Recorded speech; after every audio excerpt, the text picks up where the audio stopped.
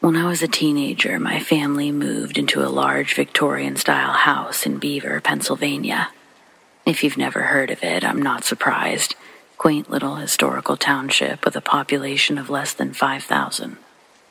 Our family moved there specifically for my mom's work with the Beaver Area Heritage Foundation. At the time, it was one of the few jobs where she could build her own hours, split time between working from home and occasionally going into work for board meetings or something specific. This sort of meant everything to my mom at the time. My little sister was just three and not yet in school, and she always hated that she had to work nonstop at the Historical Museum when I was growing up. But that's just where they were at the time my parents and their money. But now she had this opportunity. So, the house. In 2010 ish, my mom was perusing the internet looking at various houses in the Beaver area. She landed on something relatively close to the super historical district. I caught a glimpse of this beauty on my mom's computer and practically squealed in excitement while asking if that's where we were going to live. She was enthusiastic, saying she and my dad were going to look at it that afternoon. Unfortunately, I'd be at school, so it was a no go for me. I told my mom that she better buy that beautiful house the next time we spoke, that's exactly what happened. From the outside, from the photos, I'll admit, the home was incredibly dreamy. It was and still is the biggest place I've ever lived in. But I was a bit thrown off living directly across the street from a history museum. I guess there were worse things to look at, I reasoned. But for me, the dream factor wore off relatively quickly. It should have been great, and sometimes, especially towards the end of my time there, it was. But not always. And those times made it hard to imagine anything would be normal in that house. Cut to the moment where we all see the home together. I was impressed. It held up to my expectations from the outside. But the moment we crossed the threshold from outside to inside, I wondered why it felt so dark. Part of me was expecting to see beautifully painted walls or ones filled with colorful wallpaper. It was clear the photos had slightly exaggerated or had somehow let in a lot more light. The whole ride here, my mom was beaming, totally excited, especially to show my sister and I the house and our rooms. So, I tried to be happy and excited, anything but a bratty teen at that moment. But I guess I failed since my mom asked me, What's wrong? You don't like this beautiful home? Well, just wait till you see your room. She smiled, and I returned the smile. I picked up my little sister and excitedly told her that we were going to go see our rooms.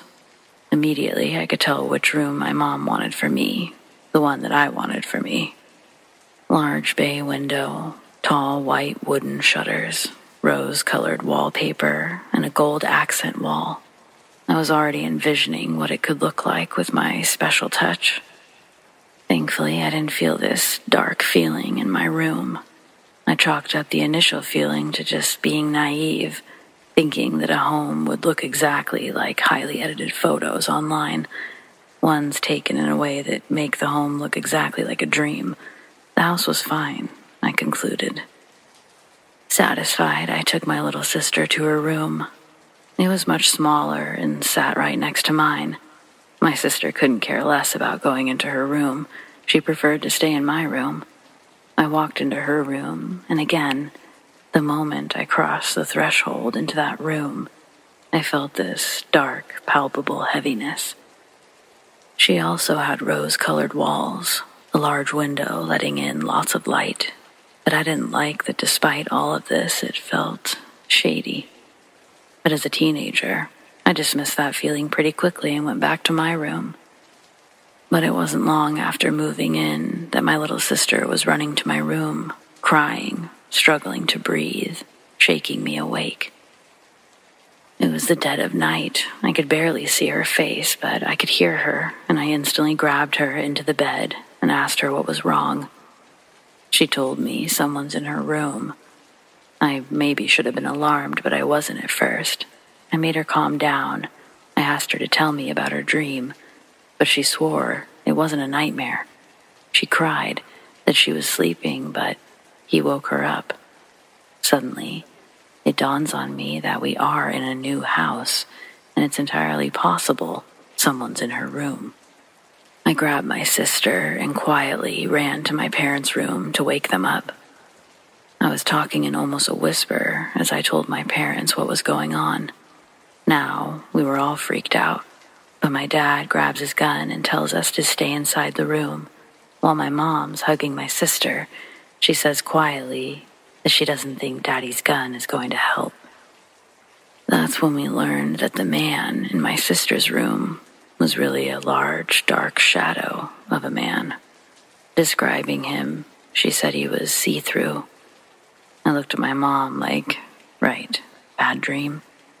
My dad comes back in the room soon after and declares that no one's in the room, or any of the rooms for that matter. All the doors and windows are locked. So we all put my sister back to bed, my bed, for the record, and then I was silently blamed in the hallway for exposing my sister to scary movies, causing her to have nightmares. For a moment, I decided that I was going to sleep in my sister's bedroom. If she was going to take my room, I was going to take hers. And that's when I remembered the feeling. Not before, but as soon as I crossed that threshold. Heaviness. I instantly felt for my little sister. Sure, there was no shadow people in here, but why did it feel so weird in this room? Surely she had to feel that too. And my parents? I don't know. But I went back to my room and I slept through the night. However, that sleeping through the night thing would become rare. I'd end up switching rooms with my little sister. Well, almost. I didn't want to. She was clearly so disturbed, though, and spending more time in my bedroom anyway, it just made sense. My parents incentivized the deal by giving me permission to drive their car on the weekends. But after seeing how excited my sister was to move rooms, I was practically sold anyway. But I allowed them to bribe me. During the move, my dad said that he kept hearing something interesting. Then, my mom, too. Scratching noises all throughout the room. My dad says that he needs to work on eliminating any possible pests before they make the move. At first, I was so confused like, what kinds of pests? Rats? Bugs? Maybe it's just the sound of you moving around. I don't want to move into an infested room, though. Then he tells me that he's heard these in the walls before. While he was installing my sister's bed, when we moved in, he thought he'd heard scratching in the walls. He searched around, but he didn't find any sign of actual pests. No feces, nothing suspicious in the basement or the attic. But he tells me that he never officially checked the walls and that it could be something messing with the electrical in that room. Over the next few months, things got strange. I was back to sharing a room with my little sister, but that wasn't the strange part. My dad had various people in and out for the inspections, and eventually he decided that he wanted to replace the drywall in that room. He was still hearing the scratching, my mom too. So construction on my new room started, and during that time, things got even worse. Even the nights where we weren't talking about experiencing things, we all were. Now, what my parents heard was scratching. I heard whispering. There were multiple nights when I would be awake, assuming that I was the last one up in the house. But then I'd hear this whispering coming from the other side of the wall. I would press my ear against the wall just to confirm what I was hearing. I'd be so sure that it was my parents having some sort of hushed discussion, so I'd get up and I'd go to my new room, figure out what they're saying. But they wouldn't be there. I'd walk into the room and hear absolutely nothing, and see absolutely nothing. Then I'd walk to my parents' bedroom door. I'd place my ear against their door. Silence. This happened multiple times but I started to realize it only happened after 12 a.m. So for the first time in my life, I developed a bedtime. At 10 o'clock every night, I would will myself to sleep. This worked for a minute, maybe a week or even two weeks, but eventually it started again. I'd find myself drawn to that room a lot over this period of time. Basically, I wasn't sleeping. My sister, however, seemed to be sleeping like a baby. Then, about a month, maybe less, into the deconstruction of that room, the contractors find something in the walls bones, bird bones, squirrel bones, snake skins, the whole lot. But naturally, the most unsettling thing they found and why they ultimately had to stop construction were the human remains. Over the next several weeks, the scene had to be preserved, and it was recommended that we stay in a hotel, so that's what we did. We crammed into a hotel while crews worked to remove the remains from our house. My mom was technically thrilled because she thought that she might get wind of the situation, given her job. Possibly they were the remains of a historical figure. She was partially right. She was involved in the process months later of having the skull donated to the Mutter Museum in Philadelphia, which is known for its extensive collection of medical oddities, including a collection of over 130 human skulls. So, at the time, and maybe to this day, the remains were not officially identified. But they are, to the best of my knowledge, all being preserved, in addition to the skull at the museum. Also, my parents do in fact still own this house. It did in fact not sit well with me at first, but I continued to grow up there, and so did my little sister for much longer. But we didn't have any of those experiences, no more oddities in the house. So, who knows? Maybe our house was haunted for a minute. Maybe it was infested by animals that got scared away. Or maybe it was all in our heads but you can't deny the bones. Basically, anyone you tell this story to is going to come up with their own theories anyway, so thanks for reading.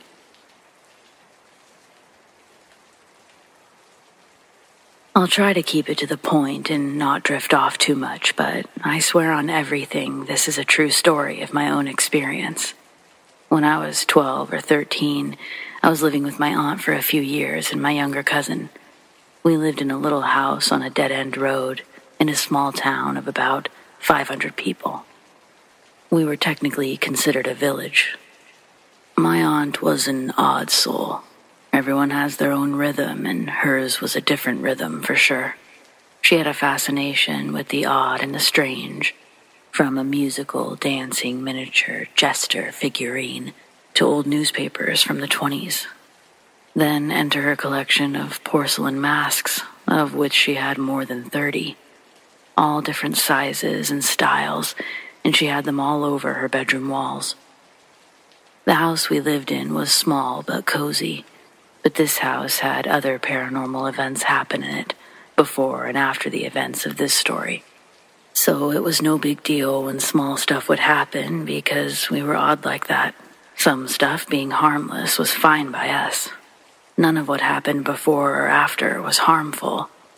This is the only event I was ever actually stricken with pure fear. It was my 13th birthday, and for my birthday, I wanted us all to watch a horror movie together because those were my favorite and still are to this day. We watched A Haunting in Connecticut as the chosen movie. It was my aunt and uncle, their three kids, my two friends, and myself there to watch it. After the movie, we all just kind of crashed. So I went to my aunt's room to sleep because it was the only other room with a TV, one of those old box TVs that would go full static every now and again. I get in there and put something on quietly and go to sleep. But I wake up a couple of hours later, and the room is pitch black, other than the light from the static on the TV, which, if you know, is not very much. It's basically a straight low beam that makes some stuff visible, but anything outside that vicinity gets harder and harder to see because of the light. But I can see all of her masks clearly. I went to get up to change the channel, and I noticed I couldn't move. It was like some sort of sleep paralysis. My eyes could move, but my body could not.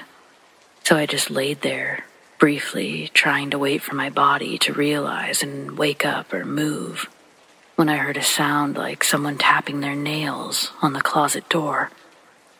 Just a little four taps. I'm sure that we all do this when we're bored, but it caught my attention, and I fixed my eyes on the closet door, waiting to hear it again. Within about a minute, I glanced at the wall that the closet was on, at my aunt's masks, when I noticed one was missing. And I knew because it was the one that I'd gotten her for Mother's Day. I did a double take because I knew where it always was. I didn't pay too much attention to it until I looked back at the TV and could barely see the mask that was missing off the wall, now hardly out of light, but still slightly visible behind the TV. I knew it was the mask by the little pink flower pattern on the left cheek. At first, I thought my aunt had moved it, but no longer than I had had that thought, the mask started to raise very, very slowly. It rose to the ceiling, slowly made its way directly over my face in the bed, where it stayed for a couple of seconds before slowly descending to what felt like right over my face. I tried to close my eyes, but it didn't help. I could feel it looking at me and could practically see it doing it with my eyes closed. Then, out of nowhere, the pressure lifted and I heard the mask break from falling. It fell directly about where it originally had hung, by the closet. I laid there practically in tears, not able to do anything about it. Then it sounded like someone shaking the bedroom door as hard as possible, trying to get in, but it wasn't locked. My aunt and uncle woke up to the sound of the door shaking, came to see what they thought I was doing, until they got in front of the door and it swung open on its own. As soon as the door opened, it was like my body woke up I sat up and screamed as loud as possible and pushed to the corner in the bed, crying. That's when I told them what happened. They knew by the way I was acting that I wasn't kidding, and they would have probably doubted it a bit had it not been for the door opening on its own. But that's the end of this one. I have many more, but not like this. I grew up on the beautiful island of Guam. My father was in the military, so we had a nice house on a base. Unfortunately, I was terrified of sleeping in my room, so I slept on my parents' bedroom floor. One evening, I shifted my pillows around while having trouble falling asleep. During the process, I noticed a pale and purple finger that looked like it belonged to a corpse. I stared in horror, unsure what to do and watched as it slowly retreated under the bed. I covered the spot with a pillow and tried my hardest to sleep, but I just couldn't. One day, I looked under my parents' bed to see bright yellow glowing eyes that definitely didn't belong to one of our cats. It was staring me down, and I felt uneasy like I wasn't safe and I wasn't meant to see it. In that house, I regularly heard glass shattering in the kitchen, only to discover nothing was broken. There were also heavy footsteps that ran up and down the hallway. From the corner of her eye, my sister often saw someone hanging in my parents' bedroom, only to have it disappear when she looked. I saw shadow people running around in darker areas of the house. My father would tell the spirits to leave in peace, and things would be quiet for a week or two before getting weird again. I'm originally from Lethbridge, Canada, but I lived in Vancouver for almost five years. Four years for school and an additional year just to live and work on my own. Most of my time was dedicated to school and work, which was rather uneventful in comparison to the story I'll share here. My first three years in Vancouver, I lived near the water in a mother in law style apartment. If you don't know what that is, it's basically a fully functioning apartment in the lower half of a home bathrooms, kitchen, living space, etc. It was an absolutely beautiful place to call a temporary home, especially for a college kid. An affordable place in a prime location. Owners who were incredibly nice people who mainly kept to themselves but also acted as very attentive landlords. But it came with its own sort of catch. About three months into living there, I was feeling pretty comfortable. Maybe I was too comfortable, and that's why everything started happening when it did. Either way, three months in, I was having these strange dreams, well, nightmares, paired with waking up suddenly and feeling like I wasn't alone. They would continue on and off for the better part of a year. Normally, the dreams were me standing by the back door. It was made of glass and had large, thick curtains, which I kept closed at night. But during the day, they let in a gorgeous amount of light and offered a small peekaboo view of the neighboring Victoria Island. In my dreams, however, these curtains were open at night, and the view was nothing like I saw in my waking hours. There were no homes neighboring this one, no telephone wires crossing the skyline. The view was incredible. You could see the entire island. It was like the dreams took me back in time one where there was just less in the way of buildings and more in the way of trees and nature. Almost magical. Except it's while enjoying this view, I realize I'm cold and wet. Doesn't seem too strange, not at first. But it changes. Not the view or my coldness, but my entire perspective. I hear the bedroom door being kicked in, but I don't turn around. Suddenly, I'm being grabbed from behind, but I manage to escape whoever's attempting to grab me. I never see their face. I never see my face. I'm frantic, and somehow, I understand that if they touch me again, I'm dead. It's the most fear I've ever felt in a dream. Still, to this day. Eventually, I make my way to a locked door. It's the door that connects the rest of the home to the mother in law apartment. I struggle for far too long and feel as if I'm working with two brains. One who knows this door is never unlocked, and one who thinks it should be. Someone's coming. I run from the door and back towards the bedroom where the glass door is. I catch a glimpse of the view one last time, just before I'm thrown onto the bed. Before I can see anything else or do anything else. I'm being smothered. I can feel myself struggling to breathe. I know I'm close to passing out, and then one of those brains tells me to wake up. Usually, that's when I'm thrown awake, gasping for air, and feeling like I'm not alone. Though other times, it would be a dream within a dream. I'd wake up, have the sensation I wasn't alone, but I'd call out, Hello? Is someone there? I get no response, but I'd feel pressure applied to my shoulder, as if someone's hand was on it. As I turned to see the hand, I'd be thrown awake. For real this time. Each time I'd wake up for real, I'd never call out to someone, despite feeling a presence. Instead, I'd literally count sheep until I'd fall asleep, not waking again until morning. These types of dreams would come multiple times a week. I started keeping a journal, only to realize it was literally the same dream. I wasn't in control of it, and nothing changed, so I eventually stopped writing about them. Up to this point, I'd never had a reoccurring dream before. Nothing like this. My dreams usually involved me trying to concentrate and getting disrupted, or dreams where, honestly, things just don't make sense. But these dreams, they sort of made sense, but they also felt really real. As time went on, I started to feel a little uneasy around the apartment. I'd spend my days just living in it as one does, but my evenings felt dreadful and that I knew I'd be walking or running through these halls again soon. However, shortly after the dream started, so did everything else. The shower, for example.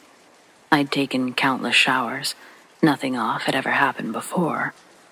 But suddenly, when I'd be showering at night, I'd hear yelling. Not just one or two, but continuous yelling and arguing. I could never discern what they were saying. but it was clear these were voices. I'd shut the water off and nothing. Eventually, I started playing music in the shower because I couldn't handle the sound of constant arguing. I had no idea how to drown it out without other noise. There was also the reappearing handprint on the glass door. The glass gets fogged up in that room after a shower. You have to ventilate a bit to prevent this, but usually it's so cold I don't crack a window.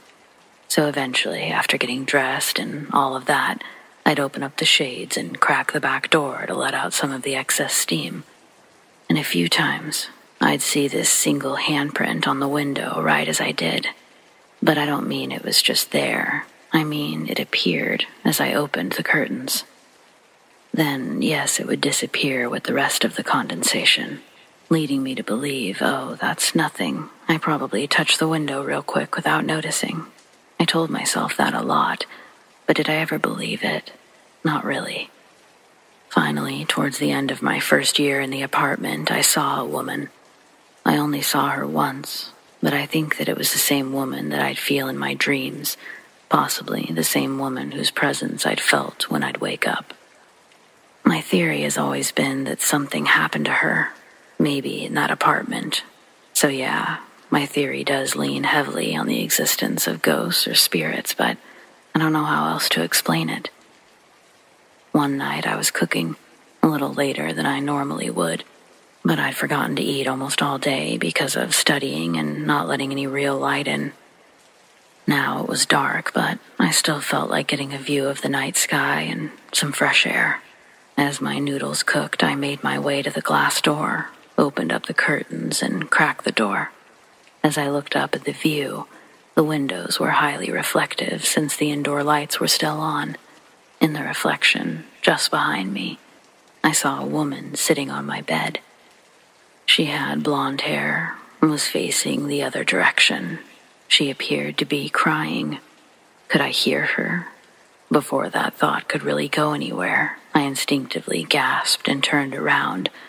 No one was there quickly facing the glass door again. She was gone.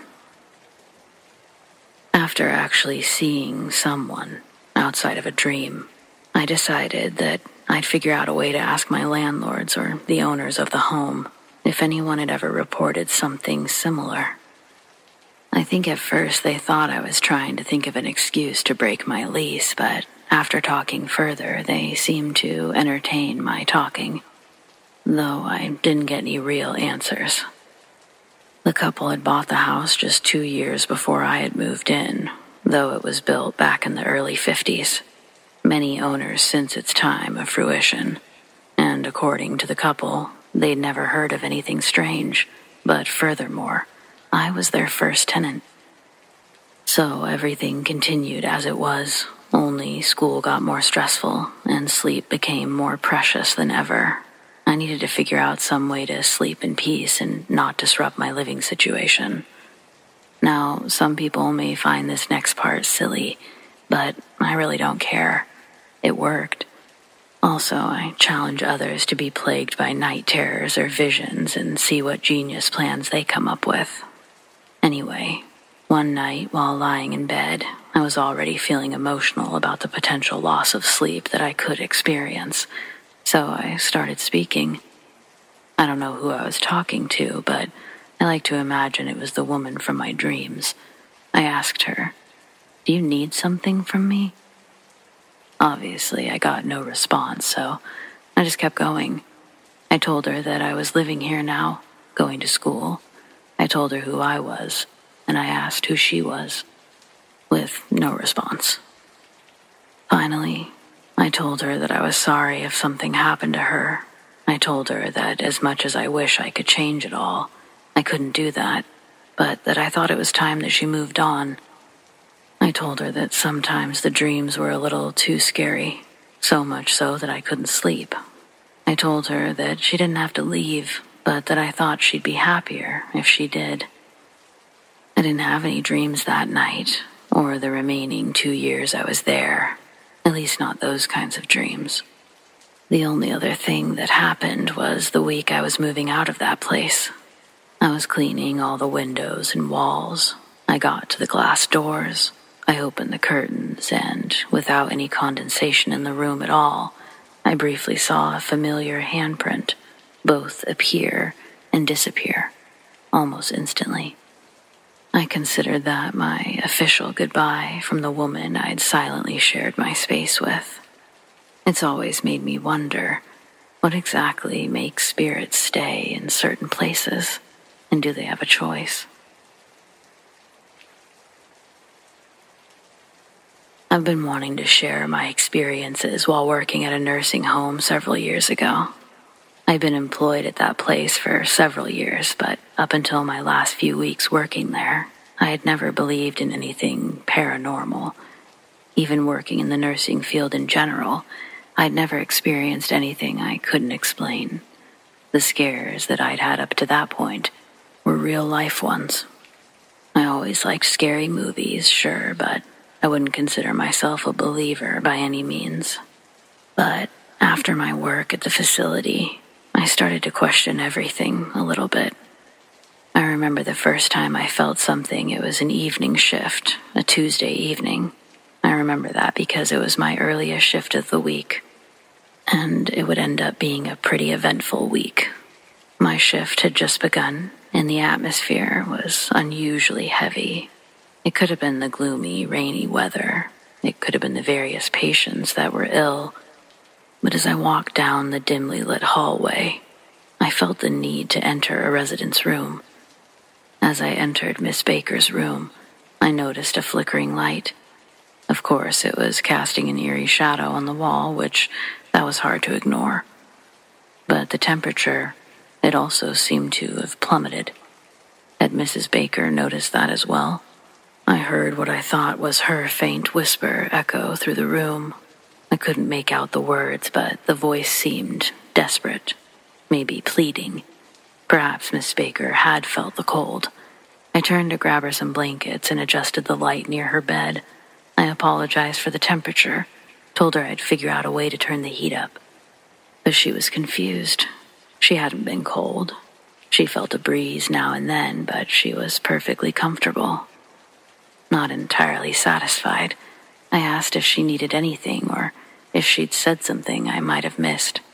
She assured me she was fine, ready for bed, in fact. I tried to dismiss the whispers as my imagination, but that uneasy feeling managed to persist regardless. Over the next few nights, the activity, if you will, escalated.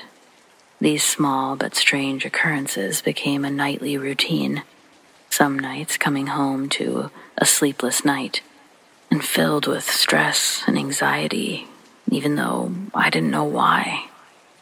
Doors at the facility seemed to creak open and shut on their own, specifically near Miss Baker's room.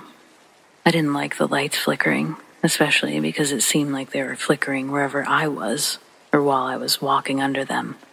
Maintenance said they'd check it out, and I even saw a couple of bulbs being changed. Over the next few nights, though, the lights continued to flicker, and only a few nurses seemed to notice them, always when they were around me or nurses around Miss Baker's room. There was more than just the lights to worry about. The sounds of footsteps echoing in the hallways, even if I was the only one there. They were different from standard footsteps that I'd hear down the halls. These felt distant yet close. Arguably, the most upsetting part were the whispers. Those seemed to follow me wherever I went that week, growing a bit louder, more frequent with each night. They were unintelligible, practically gibberish, but I could sense that they were filled with some sort of pain it was as if something since past were desperately trying to communicate with anything living, anything being me. I confided in my coworker and friend Sarah finally, hoping that she'd have some rational explanation. To my surprise, she nodded rather curiously and shared her own experiences with the paranormal. Apparently, she'd experienced similar phenomena, but in the basement while doing laundry. There were flickering lights accompanied by whispers, dismissing them at first, but eventually deciding she wasn't imagining these things. But like me, she wasn't sure what to do. We both kind of felt terrified, but admitted that it felt good not to be alone. Though we were unsure of what exactly was happening, or how to stop it from happening to us. What I found most intriguing about my interaction with Sarah was that the events she'd experienced were all during the same week. She'd only been there a year, but still, just like me, she'd never experienced anything before. Not like this. She even agreed things seemed to be intensifying each night. So, in search of answers, we delved into the history of the nursing home. Nothing terribly interesting there, though. Since being built in 1945, it had been a city hall building, a library. But since 1989, it had been the nursing home that it is today. Well, it was in 2017. Not sure if it still actually stands. Regardless, our online search yielded no answers. One night, we cautiously explored the basement. It's where Sarah had most of her experiences. While there, we stumbled upon a hidden room of sorts. It almost looked like a floor length window, but it instead opened to a very small room filled with several filing cabinets. Inside, we discovered old medical records, newspaper clippings, photographs. We expected to uncover some sort of dark past or truth, but for the most part, it looked like archived items that couldn't be stored elsewhere due to space. However, we'd spent our lunch down there, and there were a few records that stood out to us. Ones where residents or patients reported feeling like they couldn't breathe, that something was keeping them awake at night. Some described feeling agonizing pain while sleeping, causing them to wake up and feel as though something heavy was holding them down. It wasn't just one or two, we found records with these reports dating all the way back from 89 to 99. We figured that there had to be more, but realized they stopped there, and the remaining records were likely stored securely upstairs. Armed with some strange newfound knowledge, we decided that to confront this so called spirit head on would be reckless. So, we acknowledged the sufferings described in the patient's charts, but decided that maybe it was best to leave it alone. After all, our residents all seemed to be fine. No one complained about such things. Best not to rock the boat, we agreed. Over the next few days, the paranormal activity continued, but it gradually subsided after that week. I still don't really know why. It's not like we could totally ignore it. But I remember I kept a close eye on Miss Baker. She continued to be fine and unbothered, though, which was good. The whispers grew fainter. Our electricity seemed to repair itself, or someone may have actually repaired that. I'm not really sure. Sarah and I continued to talk about the events for as long as I can remember. I stopped working there in 2017, but I still talk to her regularly. I told her I was going to share this story, and she said she couldn't wait to hear it be retold. She was always a tad braver than I was when it came to this whole thing. I still can't fully comprehend the events that unfolded there, but I guess it's safe to say I believe in ghosts.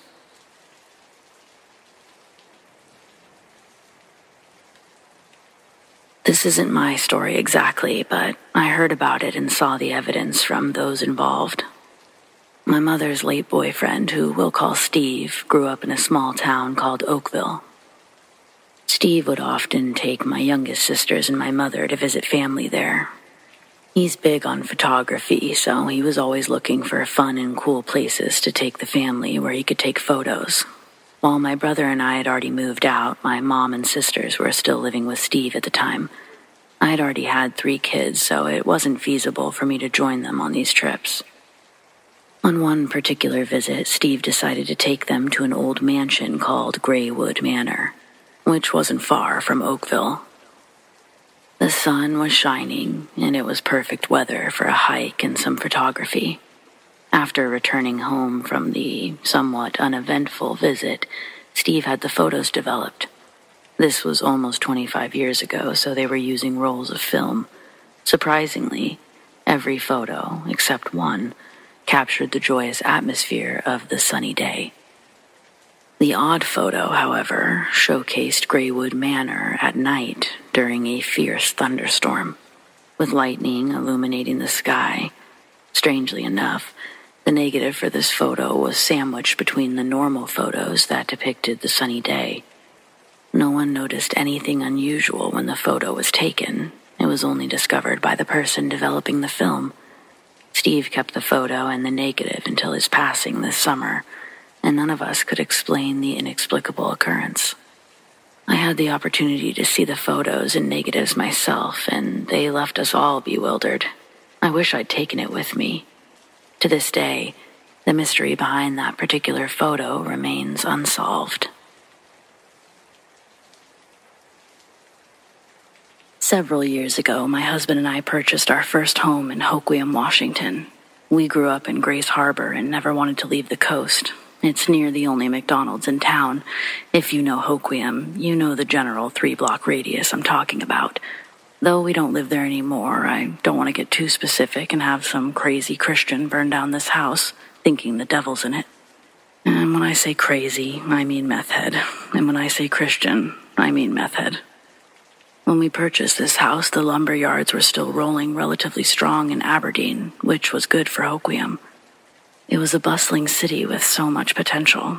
That would end a few years after the purchase of our home. While we lived there, Devin was a police officer in Ocean Shores, and I worked at the bank in Aberdeen. The house next to ours had a for sale sign outside of it the first half of the year that we lived there. Then another sign was put up saying, new reduced price.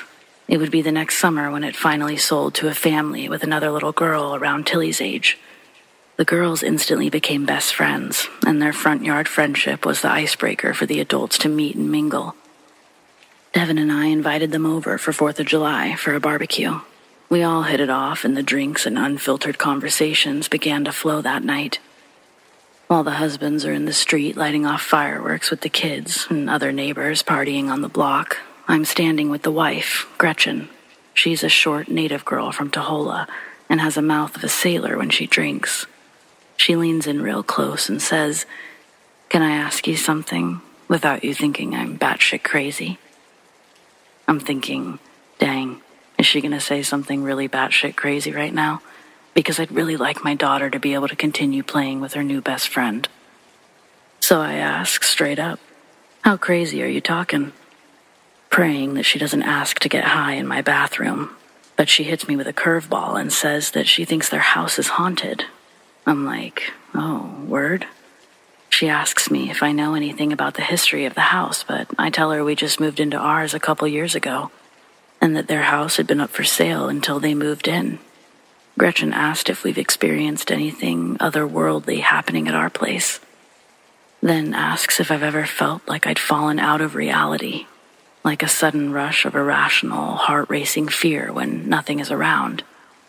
The topic continues as the men come back, and while the girls play in Tilly's room, me and Dev sit with our jaws hanging open as Gretchen and Stevie trade stories about the real haunted house batshittery going on next door. From disembodied footsteps and whispers to Stevie pulling out his big beer belly and showing us three long purple scratches wrapping across his ribs. Faucets turning on and off randomly through the night, cupboards slamming. Super scary shit. The scariest being when Gretchen told us that their daughter almost drowned in the bathtub a few days prior. Gretchen was shampooing her daughter's hair when she felt her daughter's head get pulled from her hands. She sank underwater, and at first, Gretchen thought that she was playing a joke, so she waited just a second for her to pop back up. But as Gretchen watched the shampoo bubbles begin to pop and melt in the water, she saw her daughter at the bottom of the tub with her eyes and mouth wide open. A look of horror was frozen on her face. But there were no bubbles coming from her nose or mouth. Seeing this, Gretchen quickly pulls her body from the water. She was breathing, but her body and expression went limp and lifeless when she left the water. Gretchen and Stevie threw her into the truck and ripped out to the hospital up the hill. Doctors there couldn't find anything wrong with her. As the conversation continued, we drunkenly joked that they were always welcome to stay at our place any time the paranormal stuff became too much. Then, almost immediately after our small laughter subsided, like we manifested that to be the plan for the night, Dev points out the window and goes, No fucking way.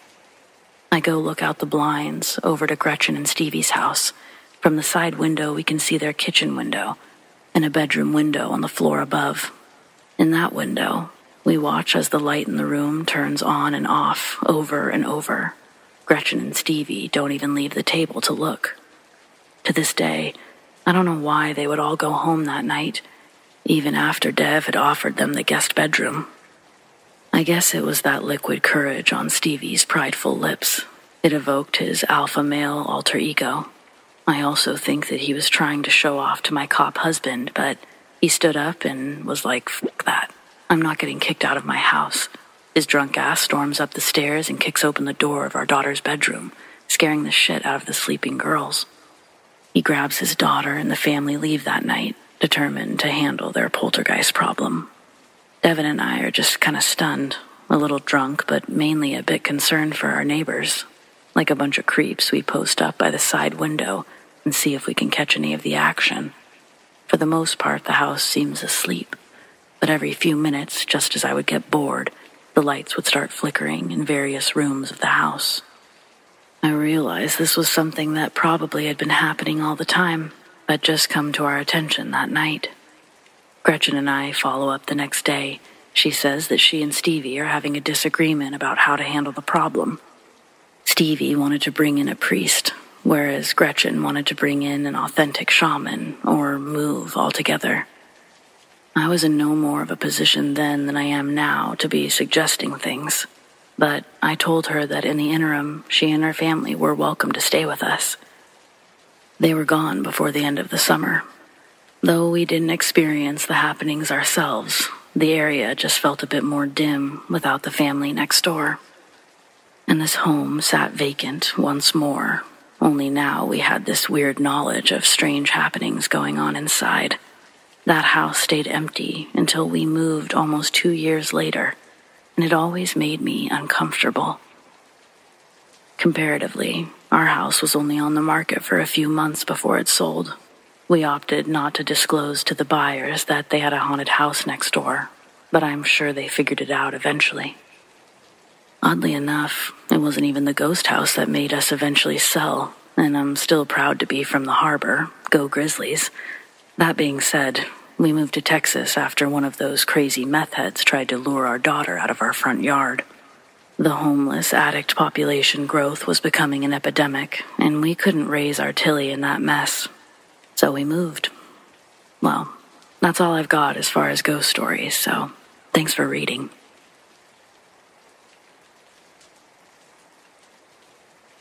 Back in 1997, I lived in what I would call a bad neighborhood. It was in the San Fernando Valley, so it wasn't the worst that LA had to offer. The apartment was under the stairs halfway to the back.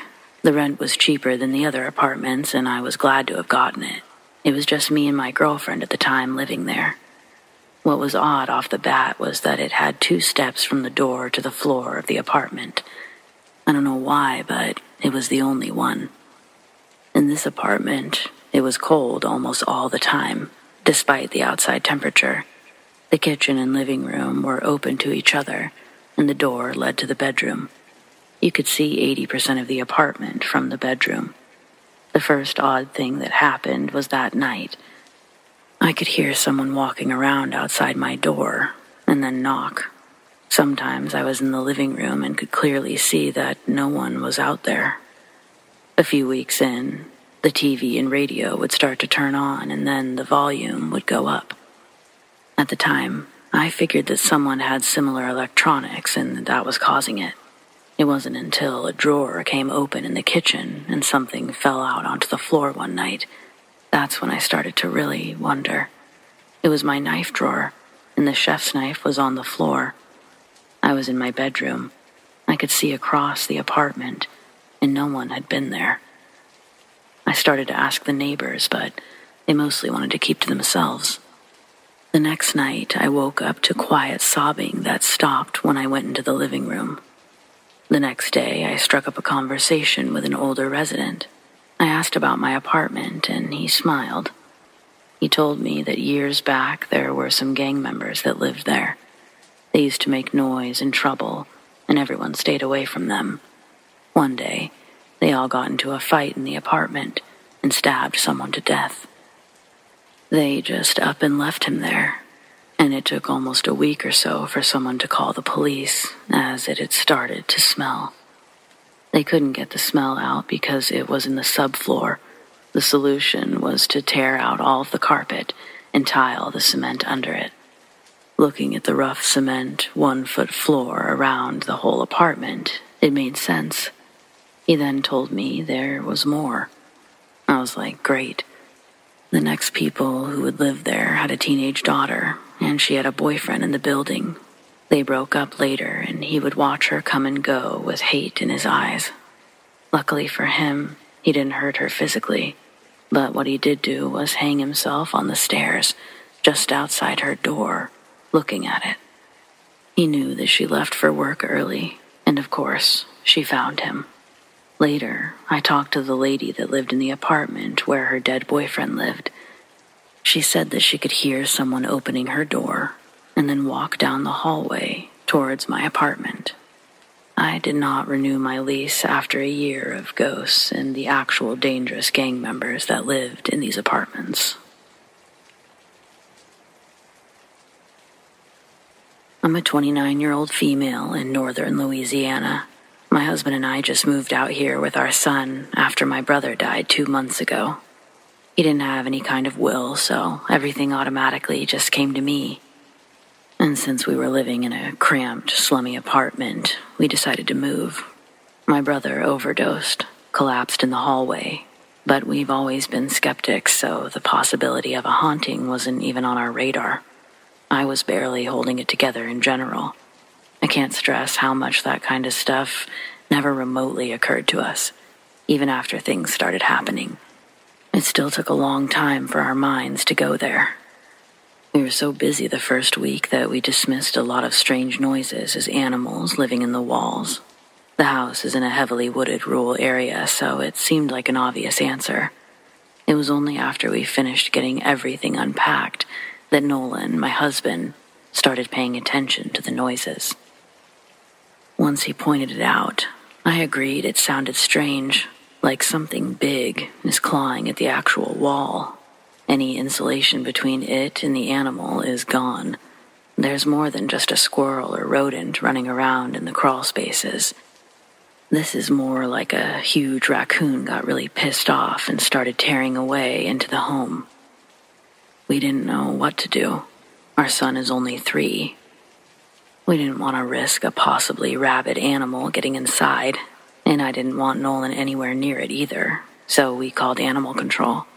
After their second visit, they said the only thing they found was a family of squirrels, which were safely relocated. But we insisted that there had to be more.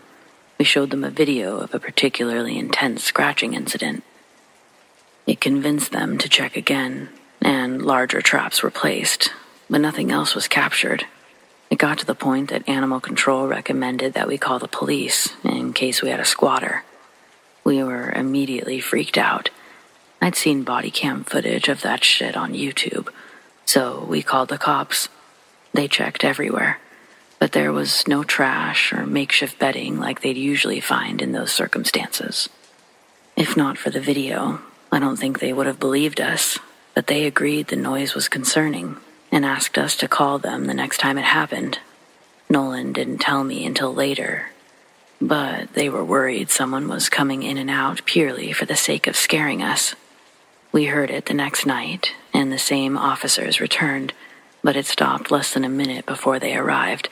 They searched everywhere, but still came up empty handed. The officers were kind enough to stay for an extra 20 minutes, just in case it started again, but no such luck. During that time, we shared our whole story of why we moved here, and the police suggested it could be my brother's ghost. That was the last time we involved authorities. Not because we were offended, but we were starting to think the same thing ourselves. The police being involved was all we had left grounding us to reality. It made it real, tangible. But after hearing them say it too, that was hard. It took close to a month for those events to play out, but that wasn't the only thing going on during that period. Our son never had a problem sleeping in his own room until we moved here. At first, we blamed the combination of animal noises on top of being in a new place. We let him stay in our room while he adjusted, but we were equally unsuccessful on this front. If the noises happened during the day, we would take Grace into it and explain exactly how animals sometimes crawl into people's homes to build their nests. Then I found several YouTube videos of cute, fluffy raccoons being safely relocated. If anything, it worked too well. Grayson was not only no longer afraid, he was adamant that we needed to adopt the raccoons. Since he was no longer afraid of the noises, we thought that he would return to his room. But then he told a horrifying story about a man coming in and sleeping next to him. I almost fainted until he added that the man had a purple face, puffy blue lips, and a chin covered in whipped cream, like a cartoon character. We thought it must be imaginary and assumed everything traced back to the new environment. We should have explained the noises sooner. By this point, animal control had set the first traps, so we were thinking that it would be over any day now. Clearly, that wasn't the case, and things with the purple man continued to progress. Grayson began having nightmares that would keep us awake. So Nolan and I began taking turns sleeping in our son's room, starting with my husband, since he had to work the next morning. At breakfast, I asked how he slept, expecting the answer to be positive, but he said the noises were even louder in the back, to the point that it freaked him out a little bit. I had the same experience on my first night, but then things were quiet for a day or two. Then, on one of Nolan's turns, he randomly got in bed with us around 2 a.m. He tried not to wake me, but he was shaking like a leaf. I assumed that he must have been cold and went back to sleep. The next thing I knew, it was morning, and Nolan was still awake. He followed me into the kitchen while I made breakfast and said that he felt like he was losing his mind. The scratching had woken him up again, and he rolled over to grab his water from the nightstand. When his eyes opened, he was facing the hallway through the open door, and a man that looked like my brother walked by. Nolan jumped out of bed, chased after him, but he couldn't find any trace of the guy. He had gone out right behind him, but no one was there. I didn't know how he didn't wake up during all of this, but he peeked in on us before checking every room, but nothing was out of place. Then, when he finally got into bed, he couldn't stop listening for footsteps. At first, I thought he dreamed the whole thing, and it just scared him so badly that he woke up and thought it was all one event. But this was also the same day that Animal Control had advised speaking with the police, so we were extra freaked out by their suggestion. I admittedly panicked pretty hard at first, but after the police did their search, I began to look at everything from a calmer perspective it just seemed too unlikely that we would happen to get some kind of invisible ninja squatter. So, I stuck to my original theories and stayed in the other room as planned. As expected, the scratching noise eventually woke me up, so I looked around but saw nothing and no one. I quickly fell back asleep, and even with that one interruption, it was the most sleep I'd gotten since this all started. The next night, however, is what did me in. When the scratching noise came, I just laid there waiting for it to stop, and it did. But then someone sat at the foot of the bed, and my heart stopped. When I opened my eyes, the weight vanished, but it didn't feel like anyone stood up. It was just there one second and gone the next. I almost retreated into the master bedroom, but the longer I was awake, the more I began to doubt myself Obviously, no one could have sat on the bed and vanished into thin air, so I calmed down enough to fall back asleep. and that's when I had an incredibly vivid dream of my brother standing over me during the night. He didn't look normal. He was dead. His face was almost purple. His lips were blue. And there was something off white, kind of like vomit, around his mouth and down his chin. Suddenly, that description didn't sound like a cartoon anymore. I told a friend what was going on, and she fully believes my brother is haunting us. But I don't want to believe that. Not because I'm a skeptic, but because I can't cope with the fact that my brother could be trapped in that state for, what, ever? I don't even know how that's supposed to work. It was right after this that we had our final chat with the police and why their ghost joke made us so uneasy. Unfortunately, my son never got to meet his uncle, but I set out a handful of pictures in front of Grayson, and I asked, do any of them resemble the scary man? I was even more freaked out when he picked up the picture of my brother. So I started researching spirits and hauntings like crazy. We tried different cleansings and simple rituals, but things only seemed to stay the same or get worse. Not long after this, Grayson was taking a nap on the couch while I cleaned the kitchen, and he suddenly started crying, loud, like he was hurt. I ran into the living room and scooped him up just as he was running out. I saw the scratches immediately two red welts spreading across his neck. That's when I knew this thing wasn't my brother. It was both a relief and extra terrifying all at once. We still don't know what it is, and we don't really care now that Grayson is with Nolan's mother until we can leave. It hurts me to sell the house and the land, but I know my brother will always be part of us. We don't need a place to be close to him, and I know he would want what's best for his nephew.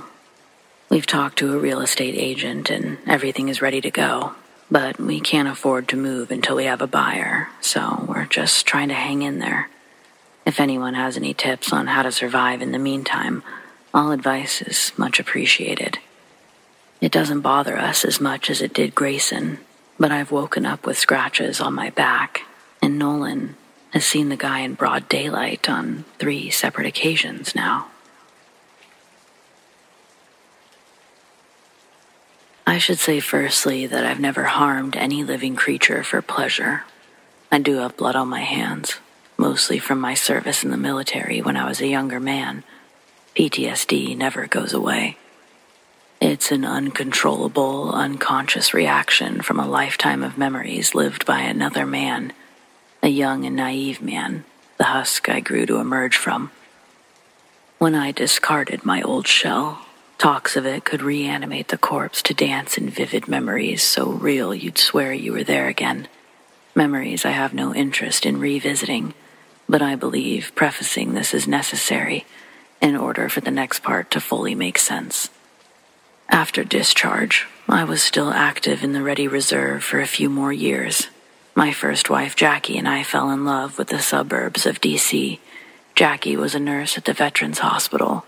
I would struggle to hold down stable employment through the first year as a civilian. My mind was damaged, and I was barely functioning. The worst episode occurred when I was working at a Safeway. I was on a knee opening boxes of milk to start stocking in a big refrigeration unit. The cooling fans in there are loud.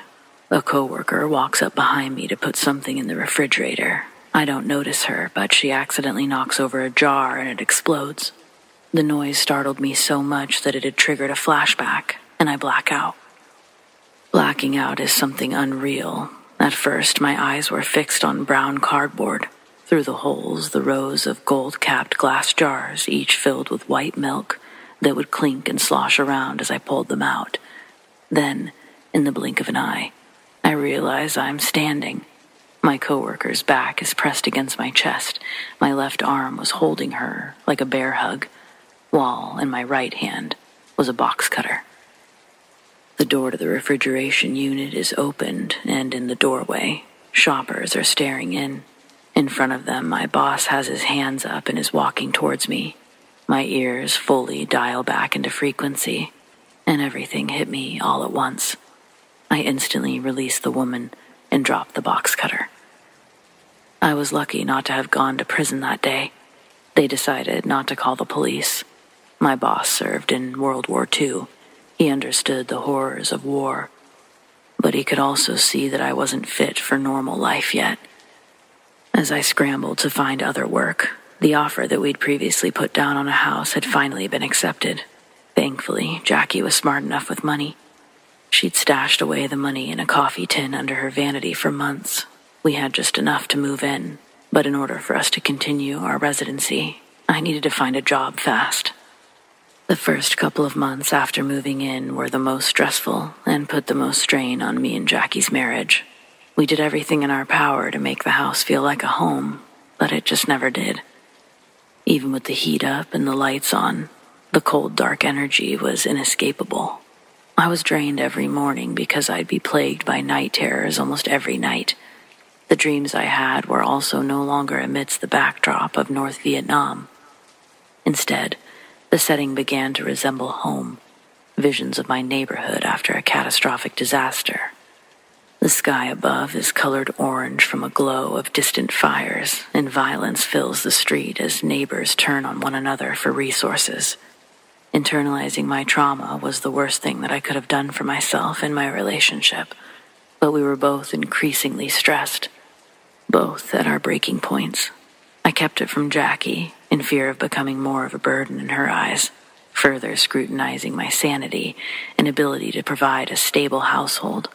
Soon enough, the night terrors would reach a level I've never experienced. I began to question if I was awake or asleep when they decided to haunt me. In our bedroom, we had a walk in closet with sliding doors. I was reading a book late one night when I heard the wooden doors of the closet quietly rattle. I looked up to see them both gently slide open. I got chills like never before, and the hair stood up on the back of my neck, then my whole body. I'm staring into the closet. The shade of darkness grows deeper the further back my eyes try to focus then, from the floor up, the blackest of colors inside the closet begins to morph and take shape, eating every ounce of reflecting light. It resembled a slow rising plume of smoke or vines as it started to grow into a human shape. The figure was female, and the smoke she grew from continued to fall through the ground like an endless dress. I did the only thing that I thought I could do the only thing that I used to do when I'd see images of war, and that was to close my eyes tight, try to fall asleep before they became too real. I'd come to find out that that was only the entity introducing herself to me. She would be a fixture in my peripherals during the day and night. I would see her take form in the corners of the room, but I would never interact or look over. She looked like what I used to see during active duty the ghosts of men you killed in battle that day follow you on your march back to the barracks. With the moon at our backs, our shadows in front of us would be joined by other shadows. Sometimes you could outrun them, sometimes they'd run with you. Observations everyone in the platoon experienced, but didn't always share out loud. The first winter Jackie and I spent in our house was bitterly cold, a new pipe would burst seemingly once a week, and I'd have to crawl under the house to fix it. I hated getting down there in the crawl space. That's when I'd be tormented by this female entity. I could feel her crawling around with me, faster than I could move. My flashlight would catch her as I swiveled for tools. I'd suppress my fear just enough to keep my hands from shaking as I finished the job. Then, that same winter, we receive a call from Jackie's sister. She'd sustained a pretty extensive injury slipping on ice. Jackie would need to stay with her through the new year to help out. Jackie had to catch two buses to get to work every day. She and I would talk on the phone every night, and I would visit her on lunch breaks, but it wasn't the same. We missed each other more than we knew. Ironically, I think this time apart made us appreciate each other more. I filled my time with odd jobs around town, doing my best to stay out of the house as long as I could, before having to return in the evening. I was alone, but I wasn't. It was impossible not to feel like I was constantly being stalked within the confines of my home. Out the window, I watched my neighbors hang up Christmas lights without a care in the world. The gutters and doors of my house remained bare. No wreath, no tree, no decorations. There was no point in wasting the effort if I was going to be the only one pretending to enjoy it. With Jackie coming home for the new year, I decided to stop feeling sorry for myself and spruce the place up a little bit. I picked up some candles that were festively scented, some new blankets for the couch, all of our favorite foods. It was important to ring in the new year correctly, I thought. However, once Jackie got home, she told me that being with her sister had been stressful, yes, but she also felt relief. Relief from her night terrors, relief from the shadows. At first, she thought that I was offended because I hadn't said a word, but I wasn't offended. I completely understood. I told her as much, finally, and then we officially started swapping stories. I learned her dreams were slightly different from mine she described chaos similar to mine, but also personal nightmares like losing a limb, watching me die horrific deaths over and over. The most unsettling, yet reaffirming of all, she also described the same figure, and she confirmed she'd seen the figure while she was awake. She was folding clothes in the living room, watching TV, but she had that intense feeling like she was being watched. Glancing towards the hallway, she focused on the darkness, feeling that it was darker than it should be. Then she saw it. The black plume formed the shape of a woman, cloaked in continuous darkness. Jackie said she froze and just closed her eyes tightly, praying that it would go away. When she opened her eyes, it was gone. Being at her sister's, she said, it felt as though a giant weight had been lifted. She believed the weight to be our house.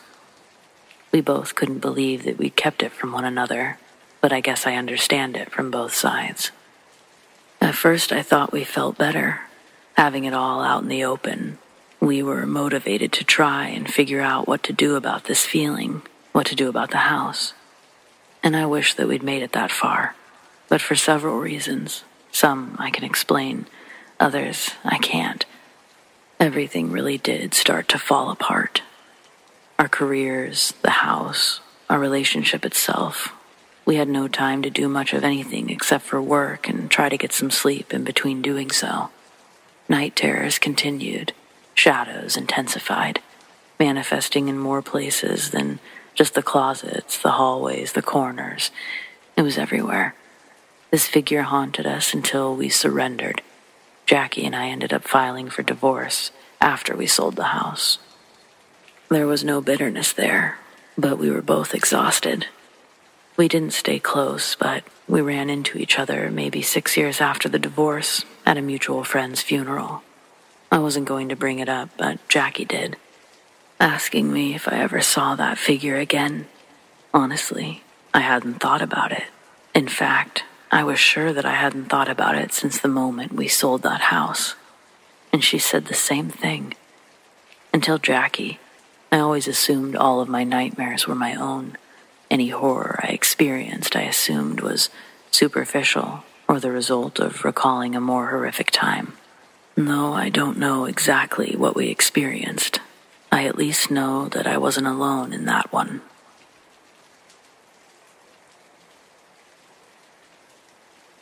Hi, I'm new here, and I don't normally enjoy spooky stuff, but my little sister is kind of obsessed, and she swore that this would be a safe place to share my story. I'm not even sure if it's a good one, but I'm getting pretty freaked out, and I feel like a nutbag when I try to tell my friends about it. I live in a small town where every other building has been named a historical landmark, so all the homes and businesses are extremely old Many of the bigger houses downtown have been separated into individual apartments, including where I live. It would normally be too expensive for my pay grade, but the landlord offered me a deal that I couldn't refuse for taking the basement quarters. I figured that there was some gruesome murder story behind her generosity, but she said the reduction was to compensate for the lack of cell service. Apparently, all of the concrete does a bang up job of blocking our reception, unless you leave your phone sitting on the window, which, don't forget, is a tiny rectangle under the ceiling because we're in a basement. But at the end of the day, I was desperate to get my own place, so I took it.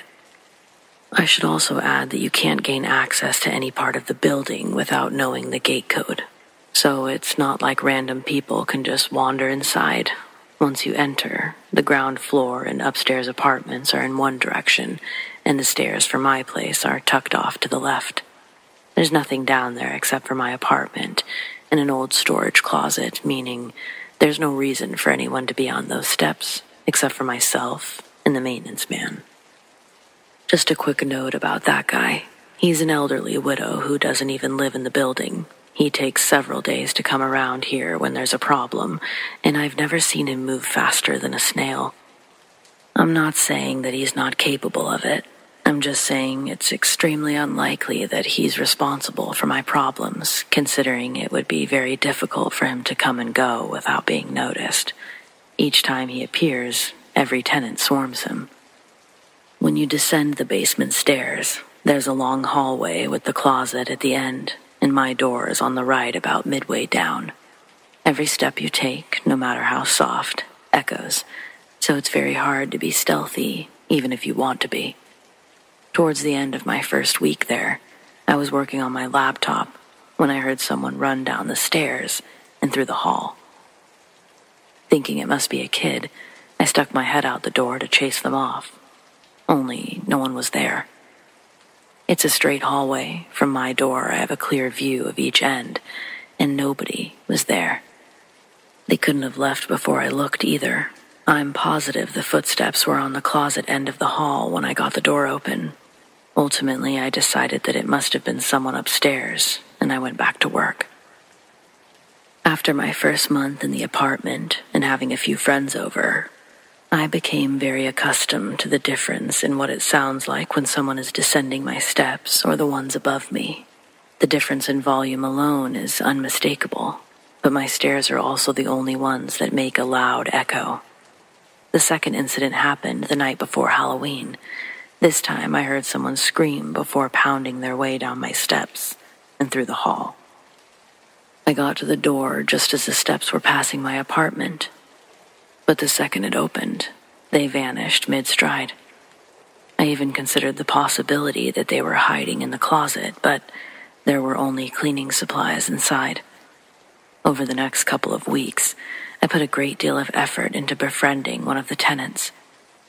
As it turns out, there are no kids living in my building. The lady in the attic apartment sometimes has her grandkids over, but they weren't visiting on either occasion I heard footsteps. It happened for a third time a few days ago. This was the worst one yet, and what prompted me to finally seek advice. There was no scream, but the footsteps sounded louder than ever, and instead of running past my door, they stopped right in front of it. My heart stopped dead in my chest when the banging began. I somehow found the courage to look through the peephole and saw a frightened young woman staring in the direction of the stairs as she continued her desperate knocking. I instantly forgot all about the possibility of ghosts or whatever spooky story I'd created in my mind. That girl was there, outside my door, terrified, but very real, until I actually yanked the door open and no one was there. Again, there wasn't so much as a trace of the echo left from her insistent knocks. Also, there's no history of mental illness on either side of my family. That's probably a good thing to mention. I just don't understand. Is it possible for just the hallway to be haunted? Because nothing has ever happened inside my apartment, and the other tenants have sworn that they've never experienced anything strange in the building. I don't know. I'm at a loss. Part of me knows that I should try to learn if someone fitting her description has died here but I really don't want to know the answer. Someone, please just tell me what to do.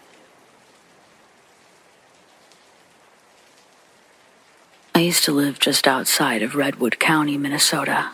And around the age of 16, my parents started allowing me to go camping on my own. That summer, I was in southwest Minnesota with some friends, and we decided to camp inside the reservation. After a long day of bullshitting around, we found a spot and decided to set up our tents.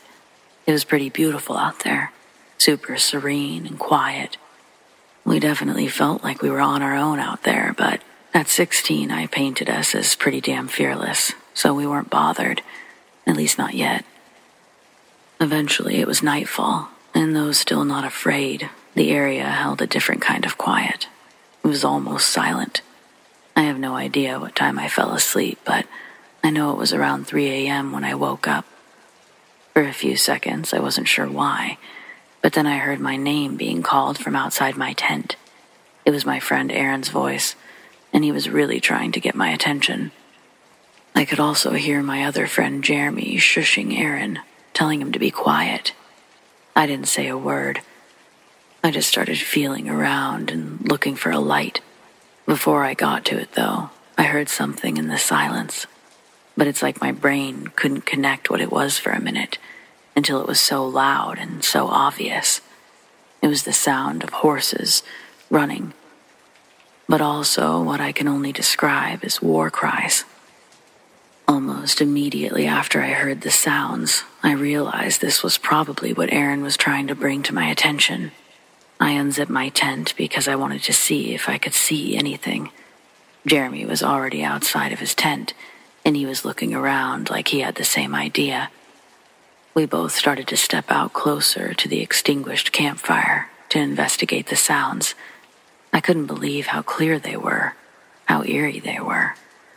Something about being there suddenly felt wrong, but I couldn't, I still can't pinpoint why. Shortly after that thought, Aaron walked out of his tent armed with a paintball gun. Not sure what good he thought he was going to do with it, but it said to me that he was scared. I guess we all kind of were by now. After an exchange of, do you guys hear that? We all decided that it was something real. We were on the reservation, so it was most likely that the noises were coming from there, somehow. Aaron was paranoid it was someone's way of telling us to get lost, a warning of some kind before a real brutal attack took place. I didn't think that sounded right, but I didn't have much else to offer as to what I thought it was. To me, it couldn't be anything other than what it sounded like horses, war cries. It seemed to envelop the whole area, yet was only a whisper at the same time. Suddenly, I felt a small brush of wind against my face, followed by an unusual thump sound right next to my ear. It sounded like something had hit the tree directly behind me, but this time I didn't stick around to investigate. Almost on cue, we all funneled into one car, drove a mile or so into somewhat civilization, and did something that emulated sleep for the next couple of hours. Then, because there's something about daylight, it gives you courage that somehow dissipates when it's dark. We decided to drive back to the campsite. Courage may be a strong word. In reality, we still had to get Aaron's car and the rest of our shit. So, what choice did we really have? Once we got there, everything was exactly how we'd left it. Jeremy and Aaron started packing up almost right away, but I had to check something out first. Chances were we wouldn't be coming back to this place again but something told me, something stronger than just my curiosity, that I would find something in that tree. The tree that had been behind me the night before. I had heard something strike it. Inspecting the tree trunk, I found what appeared to be the odd end of an arrowhead, with the pointed end embedded in the tree. Part of me wanted to take it out, but a bigger part of me felt like that was a bad idea. I told the guys to come over and take a look. We all agreed that's definitely what we were looking at. I decided to pack up my tent. The guys were still over by the tree when Aaron called me back over. They'd found something else. It looked like the piece of an axe. Part of the sharp end, but no handle attached, and missing the piece of material that would connect the two parts together. It made me want to find the handle, and though I never did, we found more of these assorted pieces of history At least that's what I assumed they were. Full sized arrowheads in various colors of gray, red, and brown. But also, there was this white material that sort of littered the area if you looked real close, or if you knew what you were looking for. They were pieces of pottery, clearly scattered now, but at one time I imagined they were full. We rummaged around the area for what felt like hours, but after we realized we could likely do this forever and never come up short, we decided to call it a day. At one point, Jeremy asked if we should take any of it with us, but we opted not to. I'm shocked and grateful that even at 16 we had enough wherewithal not to take anything with us. Pretty sure we were all just grateful, too, that nothing bad had happened to us or our stuff. I mean, besides being scared out of our minds. Though, something tells me that if we weren't so respectful, things could have been a whole lot scarier.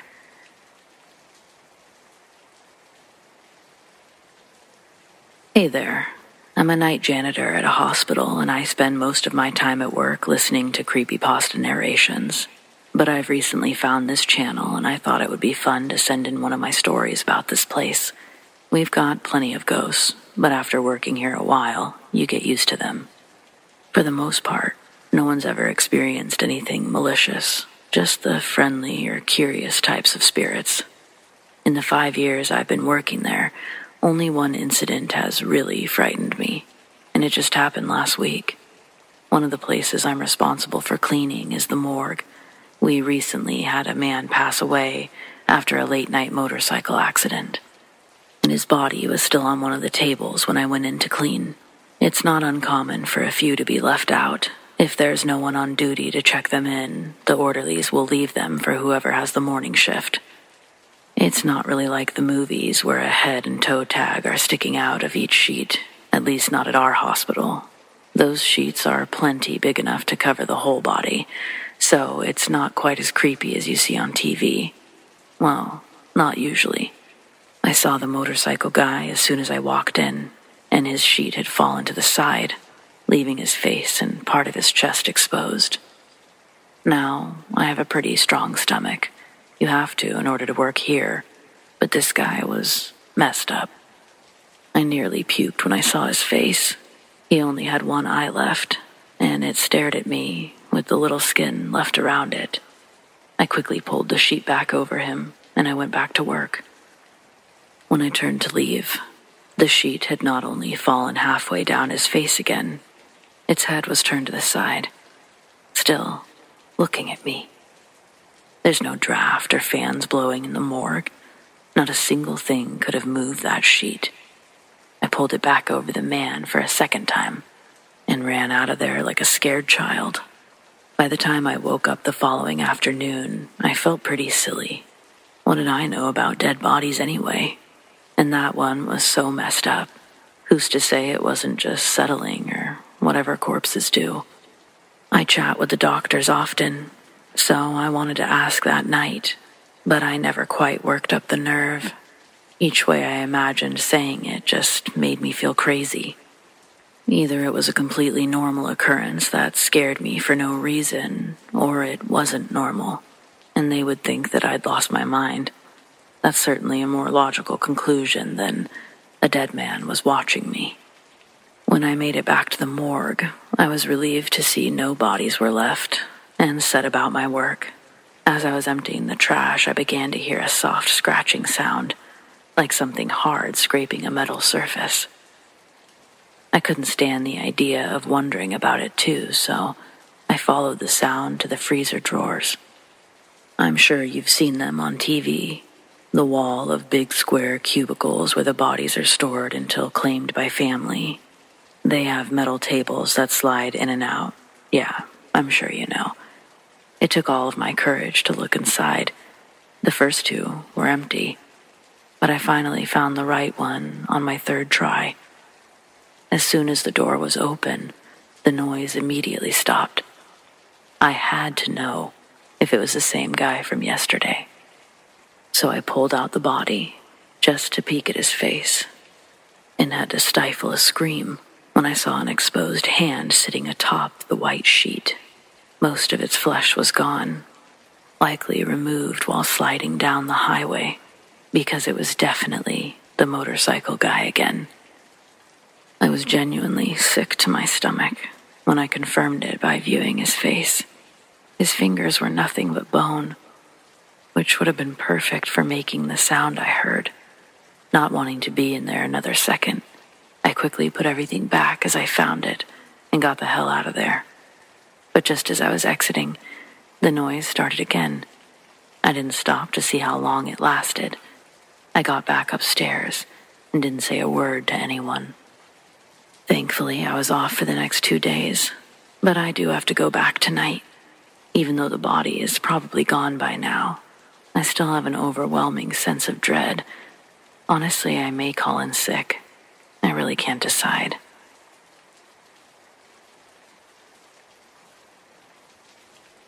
At my high school, there was one building that was older than the rest. It was the smallest building on campus, and by the time I went there, it was only used for woodshop and mechanics, two classes I never took. Rumor had it that the bathrooms over there were disgusting and horrifying, and that if you were between portables and the newer buildings, you might as well hold it and keep going. Avoid at all costs was sort of the mantra. Easy enough, each building has ample bathrooms that weren't so far away from each other. It was possible. Easy enough until junior year. Junior year, my boyfriend was in mechanics, sixth period. Since I had a free period, I would visit him in that building all the time. The teachers in these areas were, for lack of a better word, more chill. They didn't care about your hall passes, if you should or shouldn't be there. They just care that you wore safety gear while you were inside the actual shop. One day, I'd already made my way to the shop. I'd already put on the gear and realized I had to pee. I remembered the lore behind this horrific bathroom, but I figured, how bad could it be? I gave a wave to my boyfriend and headed towards the bathroom. It sat between the mechanic shop and the wood shop, tucked in the back of a hallway lined with small lockers for students to hold their belongings. The first thing I wasn't a fan of was how cold it was in there and that the lights didn't automatically turn on like the other bathrooms. It was old, all right, but all in all, I wasn't seeing what the big deal was. Once I got the lights on, I didn't see anything that stuck out as immediately more disgusting than any other public restroom. I even felt comfortable putting my goggles on the counter. They looked clean. So I go about my business, and as I'm finishing up, I hear the sound of hard plastic bounce and hit the tile floor followed by a couple of distinct footsteps. Naturally, I freeze because what the fuck? I lean down as far as I can from my seated position and confirm the sound was my goggles hitting the tile, but I didn't see anything to explain the footsteps. Not gonna lie, I was creeped out, so I sped things up and got myself into a slightly less vulnerable position. As soon as I flushed the toilet, the lights went out. At first, I assumed it was a timer or something, but the more I stood there in the dark, I questioned my own logic. They weren't like the other buildings. This had to be my boyfriend fucking with me. Looking under the stall wouldn't do me any good now in the dark, so I jumped out of the bathroom stall in an attempt to scare my boyfriend or whatever other creep was inside. Nobody screamed, so I lunged for the light switch and turned the lights on, only the switch was still flipped upwards. The lights should have been on. I quickly opened the door to see if anyone else was around, but it was empty, and all the other lights in the building were on. It was quiet. Then I heard the sound of rushing water, the sound of a toilet flushing. It scared me so much that I literally just ran out of the bathroom and towards the end of the hallway. I turned around and just stood there for a moment I thought if someone else was there that they would walk out any second, and then I could just move on. After a couple of minutes, I figured I might as well go check it out, grab my goggles, wash my hands, see who the fuck was in there. The first thing I noticed was the light switch was now flipped down. Maybe I did that in my panic. I couldn't remember, so I flipped them on. They did as lights should do and turned on. I grabbed my goggles and noticed that all of the stall doors were open. Before washing my hands, I thought, Let's just see if maybe one of these toilets is an automatic flush. I can accept faulty wiring or poor plumbing. Except not. They were all the same toilet. The bathroom was old, and for all I knew, these were the original toilets. Nothing automatic or fancy about them. Washing my hands, I was still trying to run through any and all possibilities in my head. I decided that I would stay in there for a moment, see if the lights did the same thing. I walked into the same stall and sat there for a while. I got my phone out and set a timer for five minutes.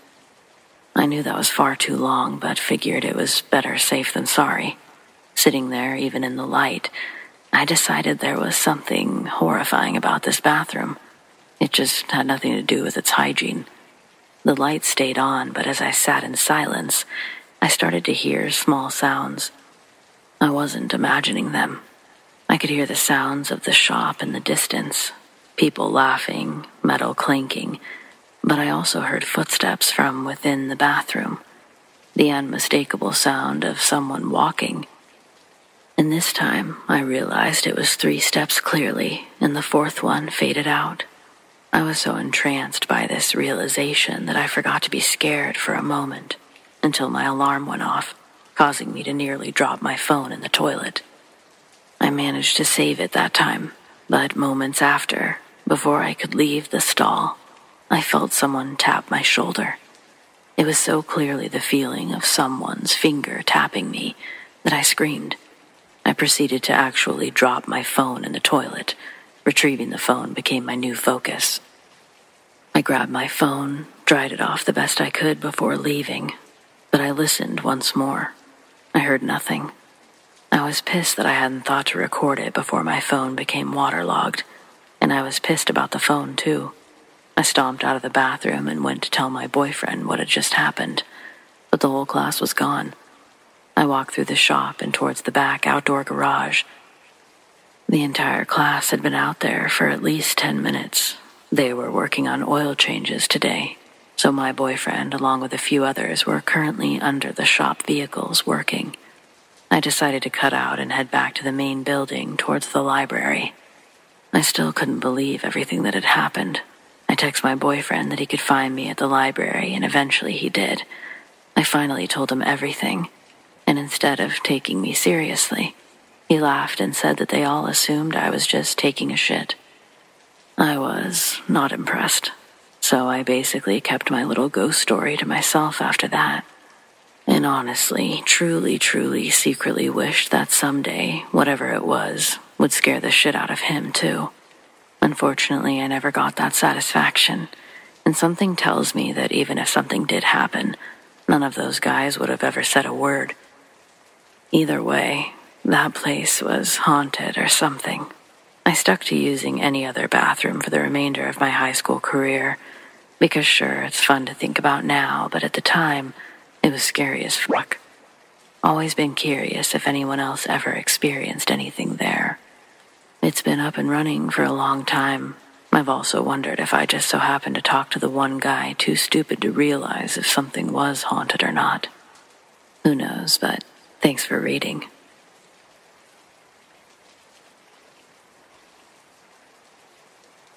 Nothing, and I mean nothing, will ever be more eventful than the Thanksgiving I had in 2005.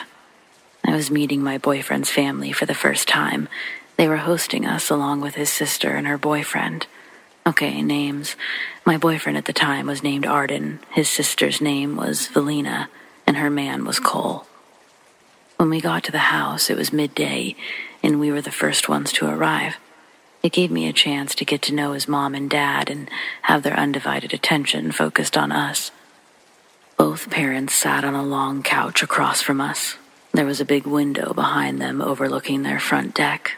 To the right, on the same wall as the window, is the front door. Arden and I both sat on recliners facing the parents in this big window.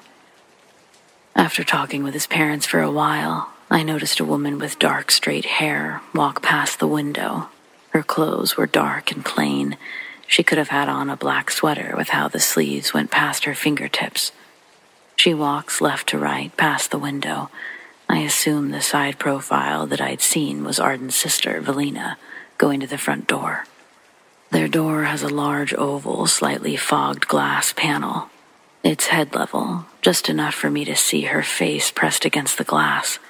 The oval window's light becomes blocked, filled with a truly ghastly grin. Her eyebrows were raised.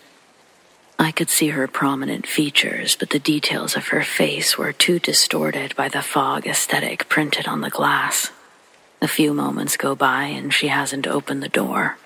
Doing my best to be polite and listen to Arden's mom tell me stories about him, I keep shooting glances over, trying to figure out if she needs help with the door or if she was waiting for her boyfriend before coming in. The face that she was making in the window was really giving me the creeps, so I kept my glances to a minimum. But the front door never opened, and nobody else walked across the deck to join her.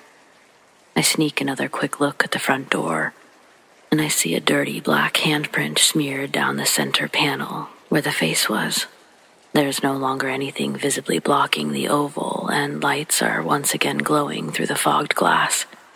Nobody acknowledged the woman at the door, and she never came in. She also never left the deck, as there was only one way down onto the driveway from the porch, which involved passing by the living room window and I can confidently say that I did not see the woman walk back across, as I was directly facing it. The large window stretched a couch length. I couldn't have missed it. But hours would go by without anyone new entering the house, enough time that I'd eventually forget about the woman, until we'd all hear footsteps on the two wooden steps leading up to the porch. Then, passing by the window was a teen with blue hair, styled in bright clothing picked straight from a Hot Topic bargain bin, followed in tow by a boy her age in the same fashion named Cole. I didn't know Valina was so much younger than Arden. The kids were nice, and I ate too many plates when dinner finally came. No idea who or what I saw that day outside the window, but it sure wasn't Arden's sister.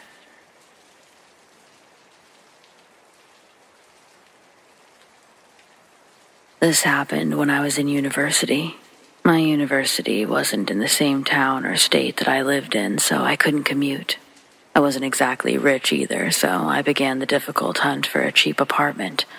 I went to view an apartment which was in my price range, and I was really hoping to get it because I couldn't find anything else quite as cheap as that apartment, especially in the area.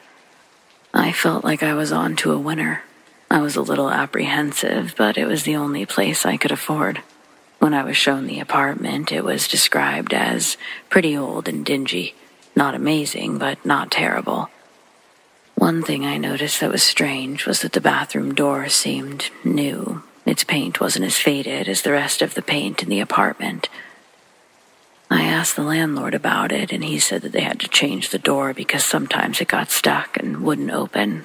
Fair enough, I thought. The first three months flew by without issue, and I was enjoying my own space. That all ended one night when I woke up in the dead of night to hear a scratching sound. I went to go and check for the cause of that sound. I turned on the light and got out of bed, and suddenly the scratching stopped. That spooked me a bit, but since it stopped and I was tired, I just ignored it, turned out the light, and went back to bed. The next day, I was watching TV in the afternoon, and I heard the scratching again. I pressed the mute button and waited. There was the scratching again. I stomped on the floor, and the scratching stopped. It sounded like it could be cockroaches or some sort of bug. Thinking back on it, I realized how wrong I was. It was a very strange sound. I heard those noises every day from then on, it was never at the same time. The scratching came in random intervals. I started to spend more and more time out of my apartment because of this. I guessed that those noises were probably still occurring, even when no one was home. One night when I was in the apartment, the noise was so awful it really got to me. It woke me up in the middle of the night. Another sound began to accompany the scratching sound. It was a gurgling, Whatever was making it seemed to be either frightened or stressed. I got out of bed and began to search for the cause of those creepy noises. Something deep down told me to leave it and go in search of it in the morning. I was now a bit freaked out by it. When morning came the next day, I got up as usual and started watching TV. I was a hard-working student, as you can tell. I was still thinking at this point that I had an infestation in the apartment. I heard the noises and I shot to my feet. It was coming from the bathroom. It was like something was scratching at the bathroom door. I banged on the door hoping it would stop it, like the stomp had stopped it before. But this time I was wrong. I knocked on the door and then the scratching changed to a scuffling kind of tapping. I smacked my palm on the door and it didn't stop. The tapping continued. I didn't like it at all. The tapping grew louder to a banging sound. The thudding on the inside of the door was making the door swell with impact and vibrating through the floor. I knew that it wasn't any infestation. I knew that there was no one on the other side of that door, too. Usually there was no one in the apartment building during the day except for me and the landlord. I stood there, frozen. I was worried that the landlord was going to come up to my apartment, shout at me for the noise, and then suddenly, abruptly, it stopped. I had to check. I didn't want to, but I needed to know if something was in there.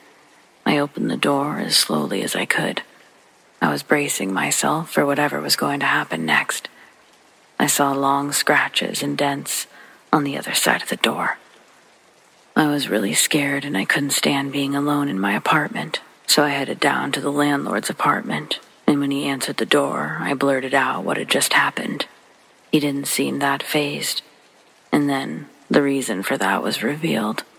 It was as if he had heard my story time and time again. He followed me upstairs so I could show him the scratches. He sighed and then told me about a former resident. According to the landlord, there was a woman who tried to take her own life by using a poisonous gas in the bathroom. Apparently, during her attempt, she changed her mind and tried to get out of the bathroom. Like the landlord explained at the start of the story, the old bathroom door sometimes didn't open and it got stuck. She couldn't get out. The police's suspicion is that the young woman began to kick and bang with her fists against the door to try to get the attention of anyone nearby. Sadly, she was unable to escape, and even if someone happened by, they wouldn't have been able to get inside because her front door was locked.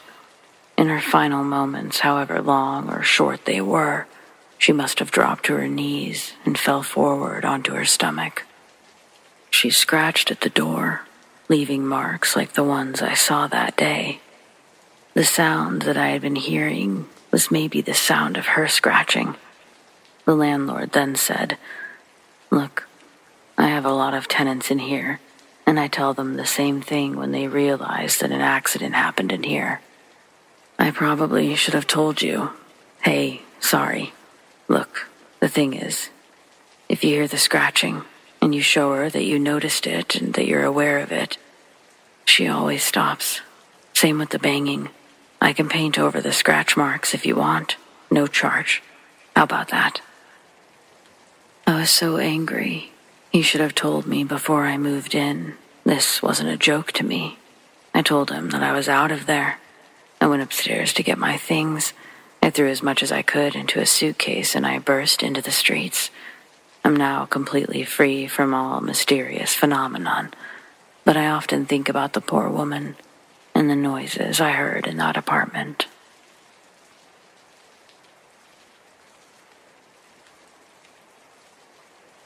My parents took me to visit my aunt in Tennessee for the holidays, and her house was super haunted.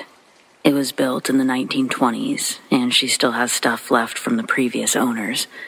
It had belonged to an elderly couple, but the wife had died three months after her husband, both in the same home, and no relatives ever claimed any of their possessions. The property sat empty for several years before a family purchased it in the 60s, and they had a son that would one day marry my aunt. Unfortunately, Uncle Terry passed away after a long battle of cancer in 2015, also in the house, and Nina has lived there alone ever since. I've always been a believer, so it was extra hard to stay there since I already have trouble sleeping in unfamiliar places.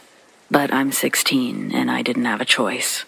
We were only staying for three nights, so I probably sound like a petulant child. But this was the longest three days of my life. The house has a really weird layout that I probably can't describe without a floor plan. But everyone else was on one end while I was on the other, and they had two bathrooms closer to them than the one by me. There was no reason for them to come anywhere near my room during the night, yet I woke up to a shadowy figure standing in the doorway, even though I'd closed the door before bed. I tried to scream, but no sound came out, I've never shaken so badly as when I tried unlocking my phone. But when I got the flashlight on, the figure was gone. It was so cold that I could see my breath. I thought the heater went out, but I was too afraid to check. I kept imagining a hand shooting out from under the bed to grab my ankle, and I just couldn't move. When morning finally came, I went to breakfast looking as tired as I felt. I told my family everything that happened, it was the most terrifying moment of my life, and they laughed. They thought it was cute. Nina said the ghosts make it cold, but they're harmless, and I should ignore them. I don't understand how someone just ignores a shadowy menace figure watching them sleep. But I could see they didn't care. On the second night, I was watching Netflix in my room when I realized how late it was getting. I hadn't brushed my teeth or gotten any water yet, and I didn't want to be moving through that dark house after everyone else was asleep. When I made it to the bathroom, the downstairs light was still on, but everything was pitch black when I came out. I wanted to skip the water, but my throat went bone dry just because it knew I didn't want to go downstairs.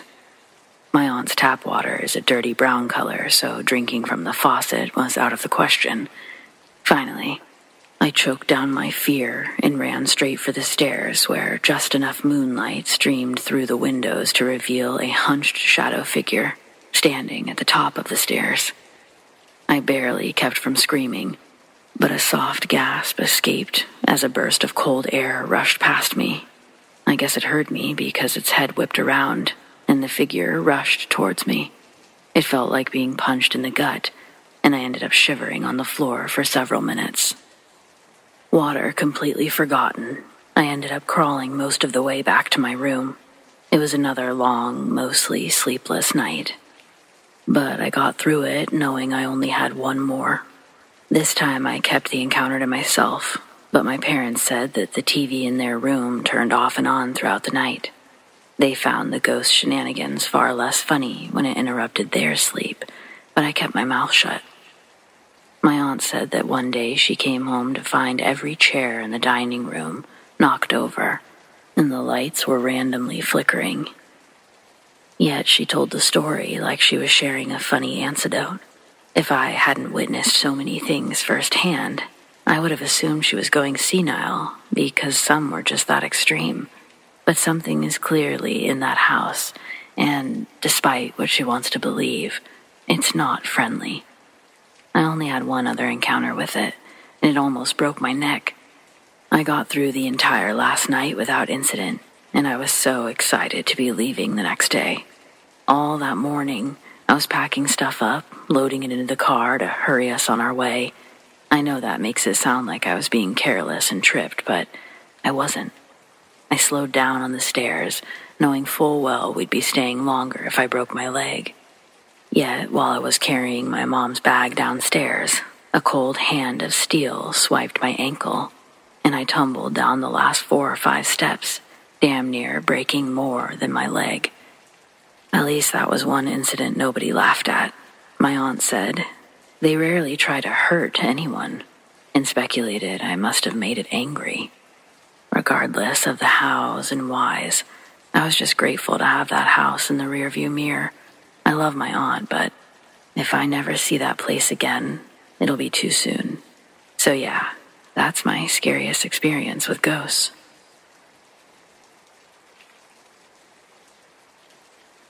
This happened around 20 years ago. After dropping out of high school, I was working a few part time jobs. They were pretty much consuming every day of my life.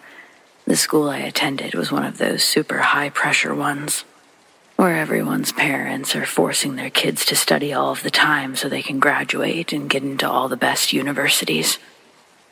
All of my friends were studying just as much as I was working, so I guess that's why all my friendships from school dwindled away. Maybe they didn't want to hang out with a dropout, or maybe that's what their parents didn't want. The only friends I had were the ones I made at work. Most of these friends were on average about two years older than me. One night, one of these friends mentioned a place in the next city over, which was supposed to be haunted.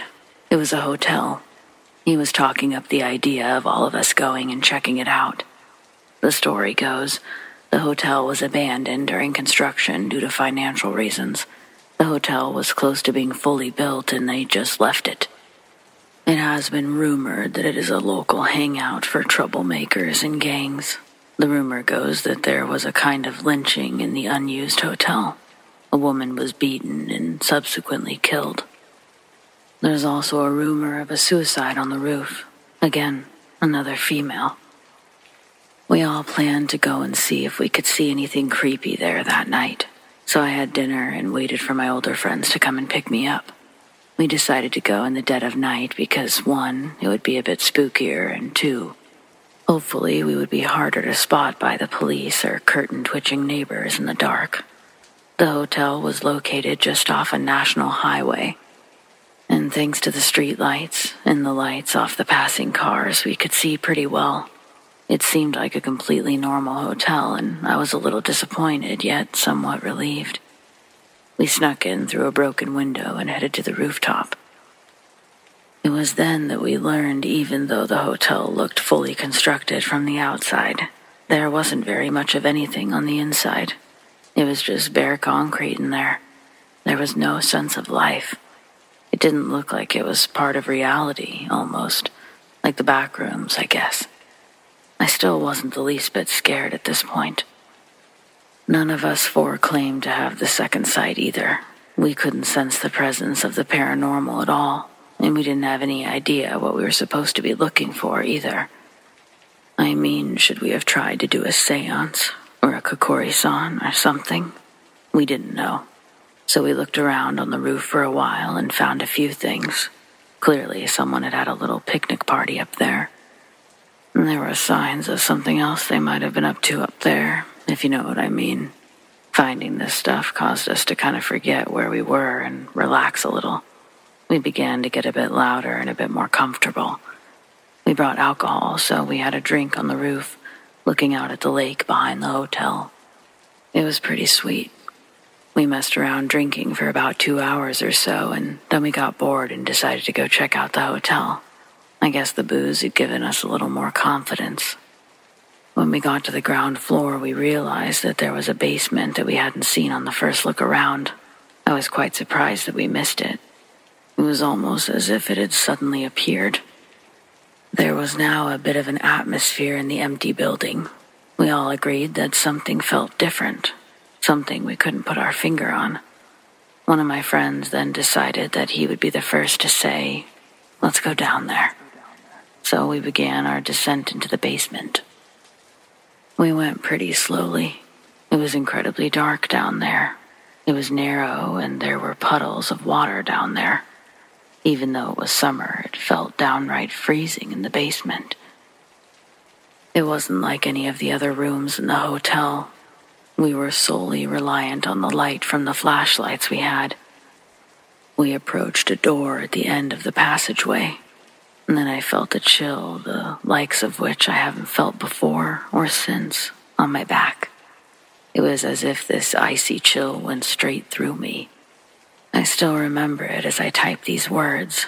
It was like a current of electricity passed through my body I felt some kind of convulsion which started at the base of my spine and then ran up to my shoulders. As this happened, one of my friends uttered a sharp yelp of horror. I was about to say to everyone, Let's get out of here, but I found that I couldn't speak. Like I said, there were four of us, and I was at the front with a friend, and it was one of the two in the back who made that yelp. I turned to see him running at full speed back towards the stairs. He was screaming the most maddening scream. It echoed around the narrow passage. It was truly disturbing. I looked at my friend at the front, who was the oldest, and I guess the most confident and strongest of our little group. Even he couldn't keep his composure, and when he started running back toward the stairs, I made sure I was right next to him. We didn't stop until we got back to where we had parked the car. When we got back to the car, the friend who ran first was still clearly upset and frightened by something. It was really weird to see someone older than you at that age literally shake with fear.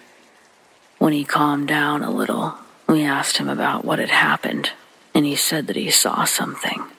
He said that he saw the face of a woman right at the back of the hallway when he turned around. She was on the right side of the stairs that we had climbed down in the place where we didn't shine our flashlights the first time we came down. He said that her face was expressionless and blank, but he saw others a man and another woman.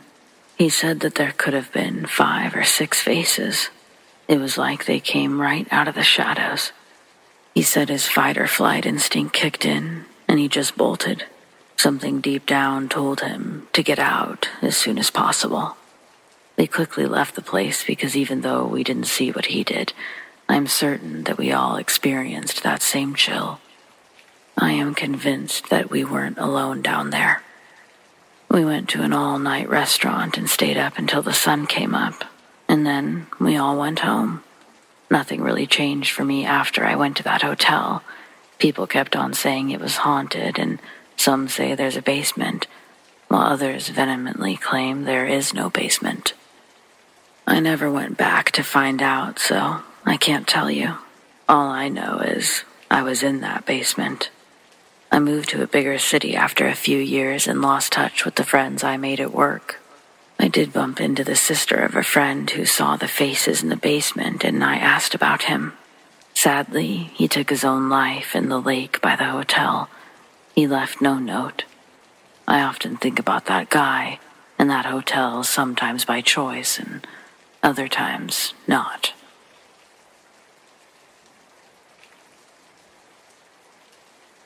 My grandparents basically raised me, so growing up between the ages of four through nine, I spent a majority of my childhood living with them in their home in eastern Washington. It was what I'd call my happy place but every once in a while I'd have to spend some time with my mom. I say have to because at this time she was no fun to be around. She didn't get clean until I was about nine, so things before that were always shaky. My resistance to seeing my mom, though, it wasn't all her. A lot of it had to do with her apartment. It sat in downtown Spokane, and it was a small one. I guess you'd call it a studio. There was really only one door, the front door. The bedroom was essentially the living room and the kitchen, but the bathroom, it was across the hallway. You'd have to leave the apartment and step across the way to access it. Each unit shared their bathroom with another one, though this didn't seem to be a problem since most of my mom's buildings seemed empty.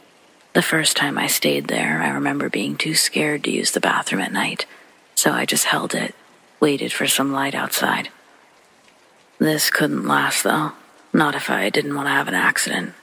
One night, squirming in the pull out bed, I tried to wake my mom up to see if she would go with me. She was unwakeable. She was snoring and clearly in a deep sleep.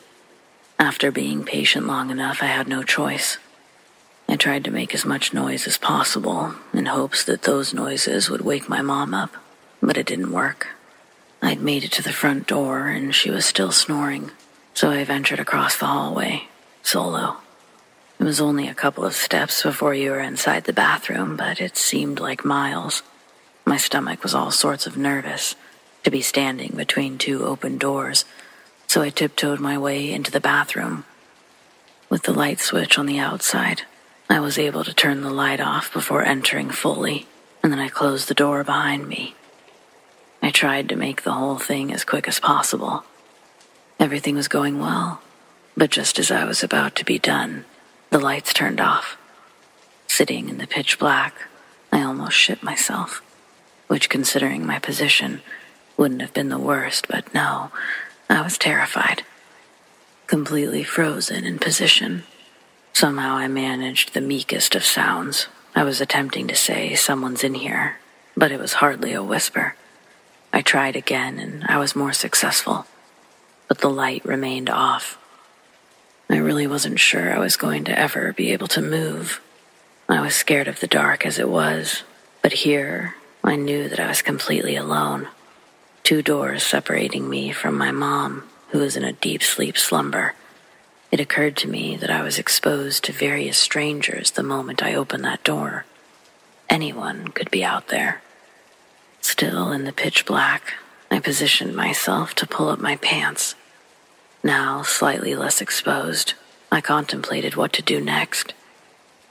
Instantly, I went for the sink, and before I could even touch the faucet, I was flailing sideways back towards the toilet, horrified by the image reflected in the mirror. In the darkness, I hadn't expected to see myself, but I saw something. At first, I couldn't distinguish male or female, but the hair was stark white which matched the skin entirely. The figure wasn't looking at me directly, and even though I saw this image directly in the mirror, it was still too dark to see anything else. I instinctively looked behind me as I jumped to the side. The reflection had to be coming from somewhere, right? I was alone in there. This image remained in the mirror despite me moving away from the mirror. Its gaze held off to the side, not saying anything, not even really doing anything except seemingly floating within the mirror itself. Just a disembodied head of pure white. Only there were features. I could tell that whatever this was, at one time, it was a human, or it wanted me to perceive it as such. I started to feel a sense of dread. Before, I'd been scared and then curious. And now I just knew I needed to get out of that bathroom. As I made my way to the door, avoiding the sink this time, I kept my eyes on the old white head staring to the side. But then it looked directly at me, blackness where its eyes should have been. I don't remember if I screamed out loud, but I stopped looking at the mirror to focus on the doorknob. I couldn't see it, but I knew it was there it was one of those pop locks. Just turn the knob from the inside and it unlocked itself. Only that wasn't working. All I could think was that someone had to be holding the door or something. The strength I was using was everything I had. The door should have at least budged. Panic ensued, and by this time, I was crying, trying everything that I could now just to be heard. Couldn't someone just please open this door? Then the lights flickered for a moment, but total darkness again. If heart attacks are possible at seven years old, I was sure I was about to have one. But then, as I was hanging backwards with all of my body weight, holding the doorknob with both hands, feet against the wall for support, the door suddenly opened and I fell backwards, hitting my head. The next thing I remember, I'm laying on the bathroom floor, fluorescent lights above my head, and as I sit up, I can see the door is wide open. I make a run for my mom's front door and thank the literal God above himself that it wasn't locked. I didn't need any other obstacles. I wasn't like a religious kid or anything, but I prayed that night. Instead of sleeping, I just literally prayed that I never experienced that again. I prayed that whatever that experience was, that I was safe that my mom was safe, that God would protect us. I was making deals with God all night, basically, promising to never be bad, always tell the truth, join the Peace Corps. I'm sure that I didn't really have a clue what it was and that I actually called it Corps for the longest time, but clueless as I was, I just needed whoever was in charge to know that I seriously never wanted to experience that again. And I never did. My mom only lived there for that year, and I only saw her a handful of times. Her next place was arguably worse looks wise in the area. It was horrifying for its own reasons, but at least it wasn't someone living inside of her mirror kind of horrifying. I still have no idea. Ghost, demon, what was that thing?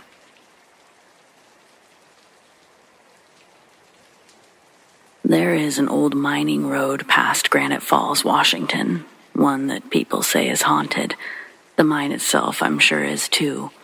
Personally, I don't know how I feel about ghosts. I believe in them. I've seen them. And I've never been one to see something and live in denial about what I've seen, no matter how unreal it may be, especially to an outsider. You ever try to tell someone about your genuine experience and they unintentionally make you feel insane? Well, it happens. One time too many, so now I reserve my stories for people who at least have a desire to hear them. The skeptic is a lot more open minded than a non believer, that's for sure. Anyway, saying I don't know how I feel about them, I just. What are they exactly? Like the man I've seen on this road. He's a disappearing act. Several people I know have reported seeing the same man or apparition of a man that I have, just past Silverton, right where Perry Creek sits. He's always walking in the same direction the cars are driving, always going east, meaning you never get to see his face. It's odd to see someone walking that way, but not really. The only reason to go out there would be to go into the woods, or if you have property out there. I don't, but my buddy does. It's not uncommon that we just paintball on his property or take the four wheelers out. We do that a lot. But every once in a while, for the past six years, I've seen this guy walking. At first, I thought, okay, a hiker or a tweaker. But no, he was dressed in some seriously old looking clothes. He wore a floppy style hat that I can't even place, suspenders and boots, and brown, worn to shit pants. I had to know what this guy's face looked like. Was he 25 or 85, you know? I instantly crank my head out the window to catch a glimpse of this guy, but as I do, he's just gone. He was nowhere. But there was nowhere for him to go. I tell my buddy, and he says, just wait, but I'll see him again. I asked him, who is this guy? He said, he's exactly what you think he is, dude. He's a ghost. As in, not real or not alive. He then tells me some stories about Lime Kiln Trail, that it's got an old abandoned mining town community still in it. Buildings still up and everything, just abandoned. People explore this place, and it's a literal ghost town, I guess. He said the whole woods are said to be haunted, the very woods that we ride around in all the time.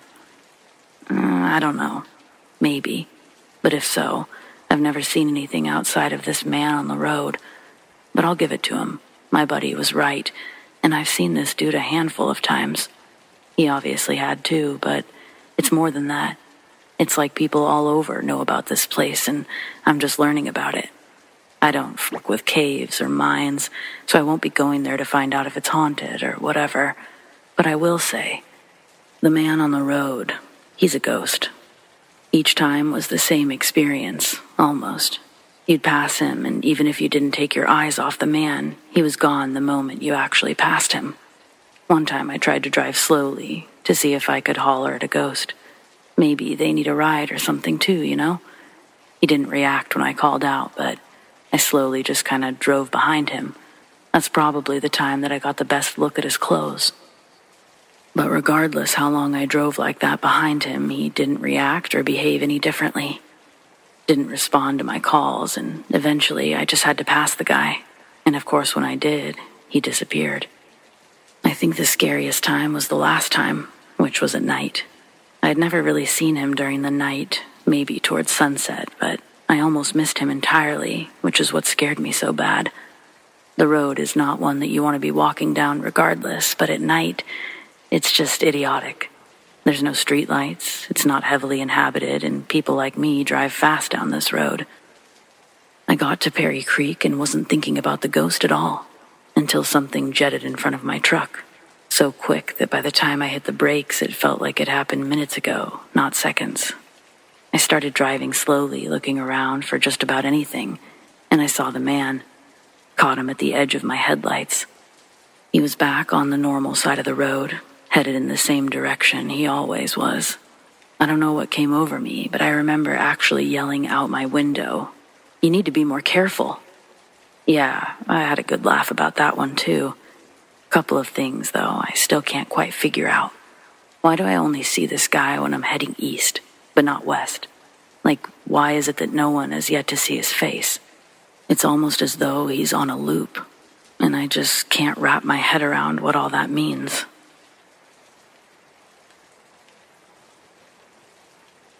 Hi, I'm Laura. I'm 25 and currently going through a divorce.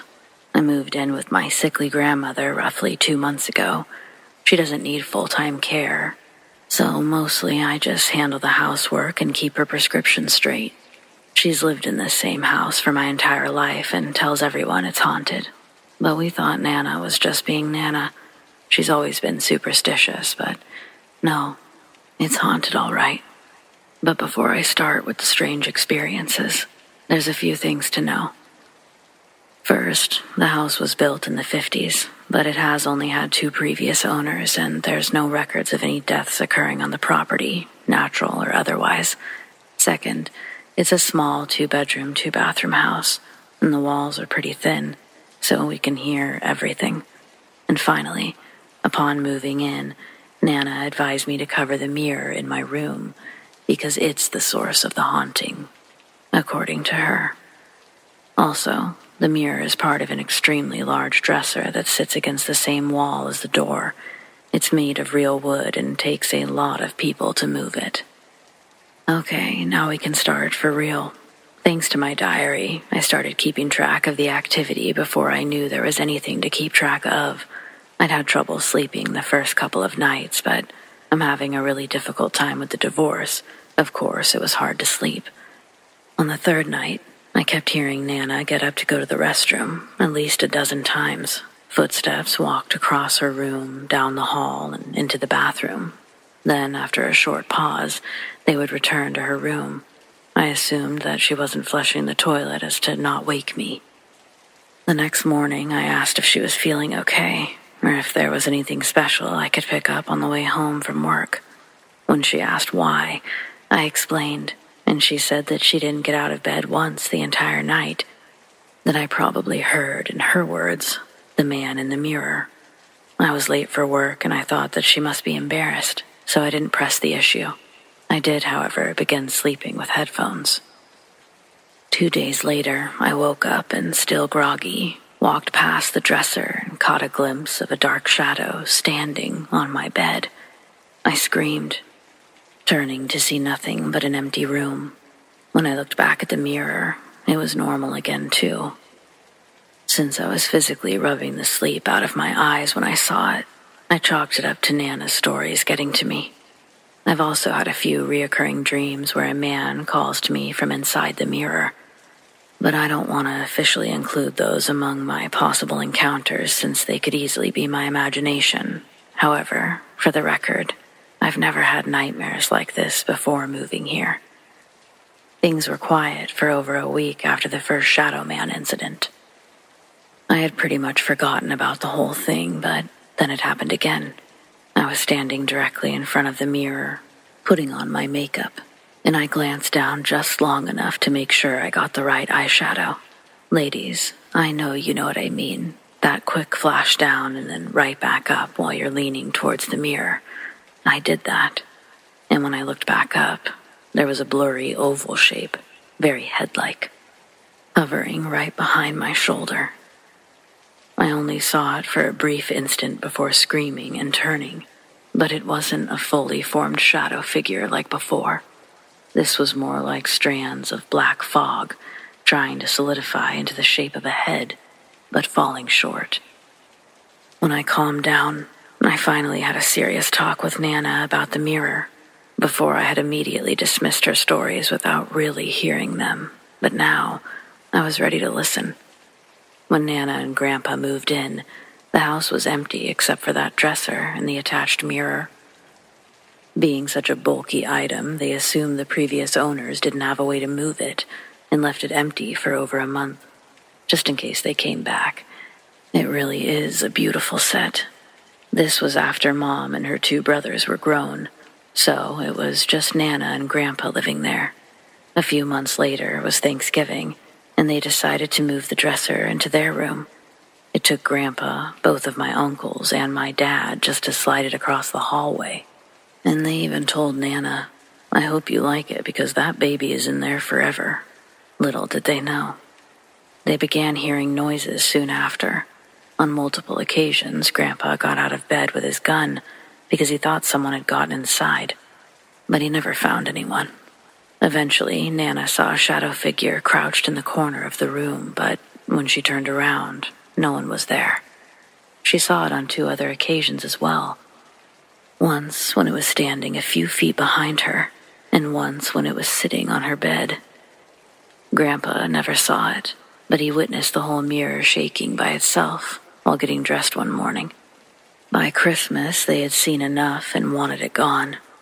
Dad and my uncles were none too pleased with the development, but seeing how upset my grandparents were, they agreed to move it back into the guest bedroom. Only that wasn't good enough. They wanted it out of the house entirely.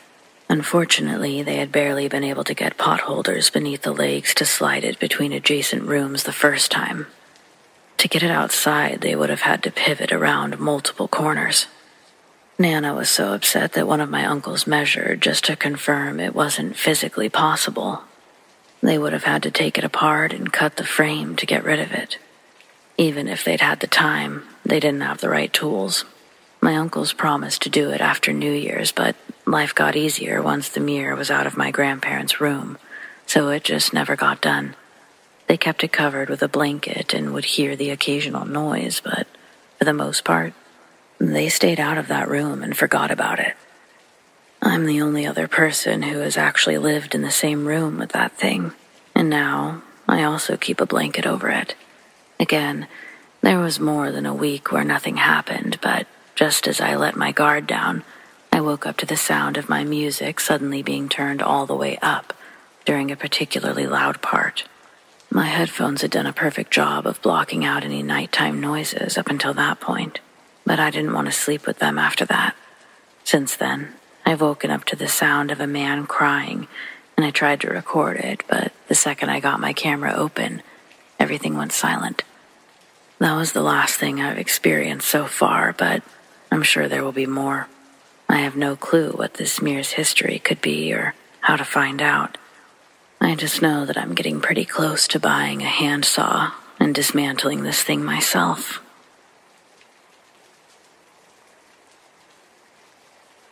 As it turns out, my mom, dad, and cousin each have a story that takes place on the same patch of road in Mexico. I'll tell them as they were relayed to me individually. My parents actually met here in the United States, but they grew up in neighboring pueblos in Mexico.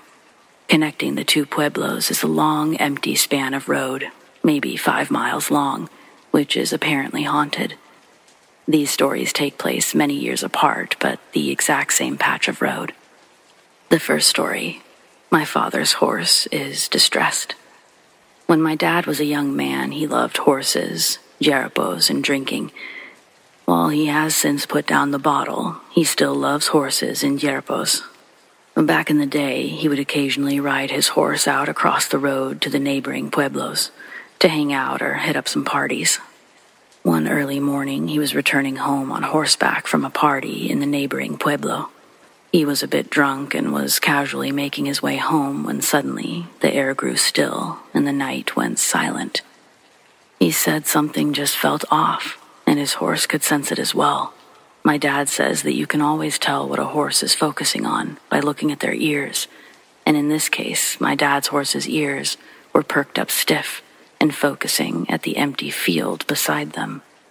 Thinking that there might be some sort of animal stalking them, my dad looked around, but the fields beside them were empty, and there weren't any bushes or things for an animal to hide behind. Suddenly, the air went cold, and my dad felt goosebumps on the back of his neck, almost as if something was right behind him. That's when my dad's horse couldn't take it anymore and took off running for its life. My dad held on tightly and tried several times to bring the horse to a stop, but it was dead set on getting the hell away from whatever they had just encountered. Eventually, they finally reached their pueblo, and the horse calmed down and came to a stop. Never before or after had the horse behaved that way. This left my dad shook up. Needless to say, he was sober by the time he reached home. This next one, my cousin's passenger. My cousin is a few years older than me, so this story takes place many years after my dad's. One late night, my cousin was driving my uncle's pickup truck. He didn't make any mention of where he was heading or in which direction, but he said he was making his way across the same stretch of road. He said that he was driving along and all seemed very calm when suddenly he felt a presence in the vehicle. This pickup truck is one of those older two door pickup trucks which have a single long bench style seat for the driver and passenger. My cousin says he felt the passenger side of the seat sink in, as if someone suddenly took a seat beside him. He said that experience scared him stiff and had him so shook up that he was cold sweating and crying. He was thinking that might be the moment he was going to die. Instinctually, he dared not turn around to face whatever it was sitting beside him but the presence was so real, and he could even make out some sort of silhouette there beside him through his peripheral vision.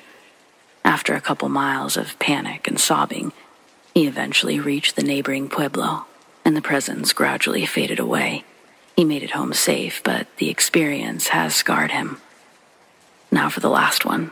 My mom and cousin spot a hitchhiker. This last one is short, and it actually took place a couple of years ago. This happened to my cousin from the previous story and my mom. A couple of years ago, my mom went to Mexico to hang with family. Her return flight home was in the early morning, so my aunt had my cousin drive her to the airport. Along the way, on that same patch of road, they spotted a man hitchhiking on the side of the road. This was a very strange sight, as not many people hitchhike along that road, much less early in the morning before the sun's even out. As you might deduce from the last couple of stories, land around the road is largely empty. There's not really any good reason to be out there at that time. Jokingly, my cousin suggested that they pick him up. They nervously laughed it off in the car and drove past the man. As they continued along, however, they swore they could hear someone whistling at them from out in the empty fields. This made them very nervous, and they wondered if the man, whatever he was, was following them. Eventually, they reached the neighboring pueblo, where they also swore they spotted him standing just outside the entrance.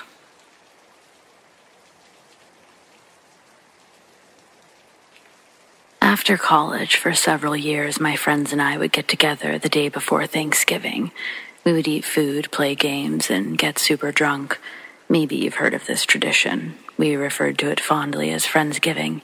And when I was about 25, we celebrated our final one together as a group, and let's just say it was one to remember. Two friends of ours had bought property out in Deer Park, Washington, a couple of months before the holidays, and they invited us to celebrate Friendsgiving out there as a sort of housewarming party, too. We all lived in eastern Washington at the time, so we opted to just carpool there, four of us in one car. It should have been a quick trip, one that we were even somewhat familiar with to a certain point. It was a Tuesday night, and the final road to our friend's house was a long stretch of nothingness. As we started getting closer to what we thought was our destination, we were suddenly aware that we were being followed. I think it was my friend who was driving, Blake, who noticed first and then called it to the attention of the rest of the car. The music was turned down, and suddenly we were all looking out the back window. It wasn't just that there was a car following us on this seemingly desolate road, it was how close they were following us. I remember audibly gasping at that realization, and my friend Summer did the same as we instinctively grabbed each other's hands. The headlights were almost blinding as Blake asked us, Can you see the driver? What's up? I hear my friend in the front seat echo his question. I focused, trying to see anything but the blinding headlights. It seemed as though we should be able to make out the driver, but from this angle he resembled nothing more than a large dark silhouette. I was taken aback by the headlights once again. They were so unusual, and I recall thinking that I'd never seen headlights quite like that. But I realized I sure had on really old cars. They were perfectly round and slightly raised from the car itself. Just as I thought I'd state these facts out loud, it got even closer. You just need to let them pass. Pull over or speed up. Summer ordered Blake from the back seat next to me. Pretty soon, Blake was having to drive so fast to avoid the car tailing us that he couldn't safely pull off the road. I could see the car clearly now. It was a very old antique style car. I don't know enough about cars to do much, but I know enough to know that that car was a classic. Who drives a classic car so recklessly? I remember asking out loud. No answer from within. By now, the car became filled with fear and angst. Finally, Blake made the split decision to pull off on a gravel shoulder, which was practically non existent. The car was still right on our ass as we pulled off. Summer and I were screaming as we realized they were the closest they'd been to our car yet, and we could see that there were multiple silhouettes in the car. We immediately felt a jolt as the car hit our back end. Blake struggled for a moment to regain control of his car. We weren't headed for a cliff or anything, but it was pitch black out there, and we knew that we were surrounded by giant trees. As the car spun, my eyes spun in the direction of the other car. Looking from each window of the car, I could still see the antique vehicle until suddenly it disappeared. I don't mean that it sped off or anything like that. I mean that we watched it disappear. As he pulled off to the side, we confirmed there was nothing there. It didn't follow us, it didn't pass us or keep driving. It completely disappeared off the road and there was no explaining where the car had gone. Where the hell did they go? Blake asked his passengers, and no one said a thing. I believe we were all in shock, but still, looking at the road behind us, expecting to see something. After a few moments, Blake gets out of the car and looks for any sort of damage to his car. When he got back in, he told us there was no damage, not even a scratch on his car. Still, we were all sure that we had seen someone, a car, following us. Not only that, but we all felt the jolt from the impact. Yet we also agreed that we'd seen something disappear right before our eyes. Either way, Blake started driving back into the road and continued to follow the GPS to our friend's house. We were all sorts of quiet, not sure what to say or think about what had just happened. When we got to our friend's house, we told them about the experience. Them not having been in the car with us, I guess it was just hard for them to believe. I asked them, Did any other cars drive down this road, especially in the last 10 minutes? No. They were the only occupied property along this road. The rest was either undeveloped or protected land. So, what the hell did we experience? I'm a 37 year old female from South Dakota, and I've lived in the same house with my family for seven years now. My partner and I are both accountants. We make a decent living, but we also have three kids, so extra money isn't really a thing. Plus, our oldest, she's 13, has a heart condition that has required several surgeries during the course of her life. Before moving into our current home, we lived in a small two bed, one bath duplex and our neighbors were all the worst cliches. They were constantly fighting, playing loud music, having parties, or, my favorite, locking their dog in the bathroom and letting it bark all night. We already wanted to move, we just couldn't afford the privilege. But then my youngest was born, and our previously cramped space was now absolutely impossible to navigate. We had no choice but to find somewhere else even if that meant moving further away from the city. And to cut an irrelevant part of the story short, our realtor eventually asked if we believed in ghosts. Honestly, no, not even a little. My partner and I were both huge skeptics. Notice I said were. I went so far as to say something along the lines of, Why? Do you have the perfect three bedroom, two bathroom just sitting around the corner, but no one will buy it because of the terrible things that happened inside? I really was only joking, but then his expression morphed into one of nausea and surprise. It was actually a four bedroom, two and a half bath, and it was still 40 miles outside of the city. But it was well within our price range, and that was the kind of luxury worth sacrificing a little drive time for.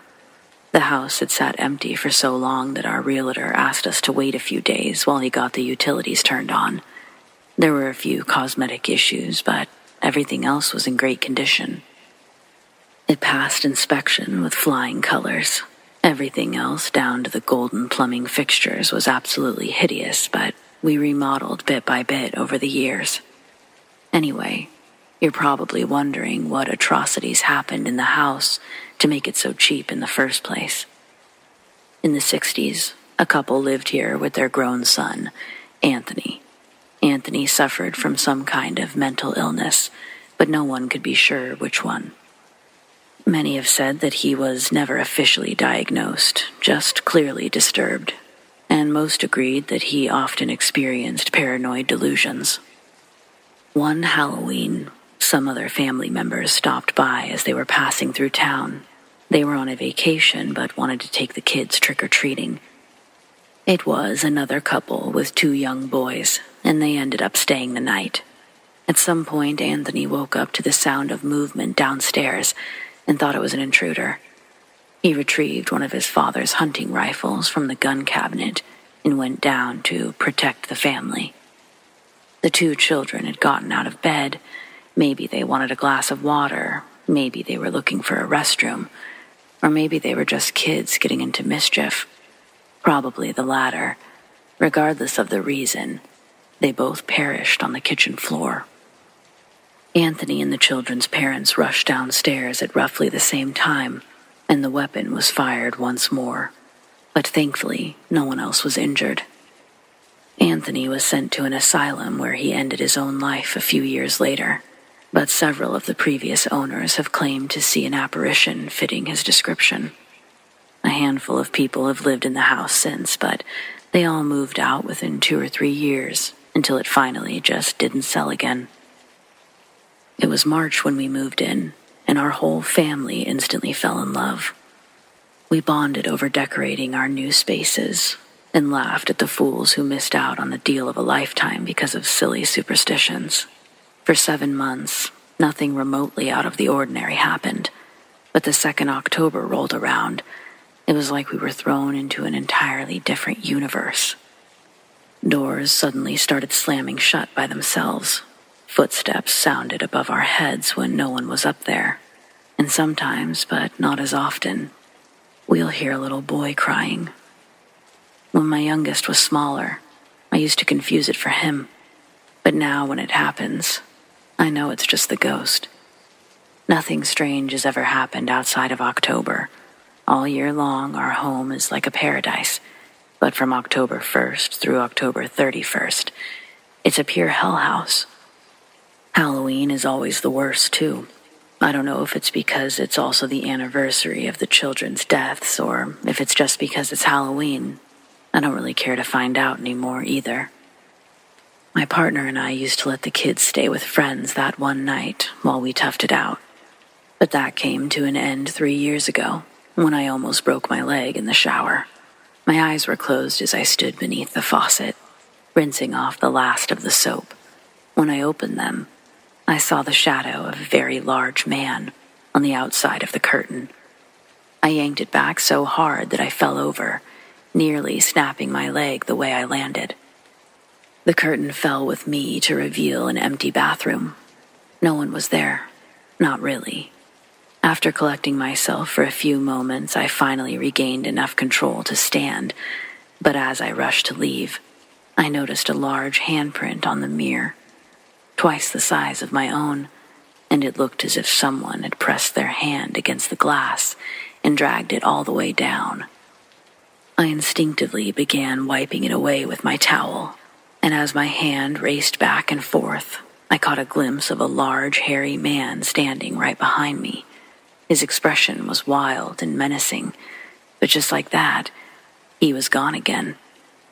Ever since that incident, we've spent our Halloweens in a hotel. There's also a dozen examples of small things going missing only to turn up in strange places, But I figure that's the kind of stuff you guys hear all the time. The volume on the TVs and the music randomly going up and down, and there's been occasions that they shut off entirely. My partner and I haven't had many nightmares, but my youngest had dreamed of playing with two other little boys in our house. Thankfully, the shower thing was by far the worst any of us have experienced, and I'm just grateful it happened with me instead of the kids. But I would love to know has anyone else experienced these kinds of anniversary hauntings? Everything is just so normal the rest of the time that it's hard to believe it's the same house.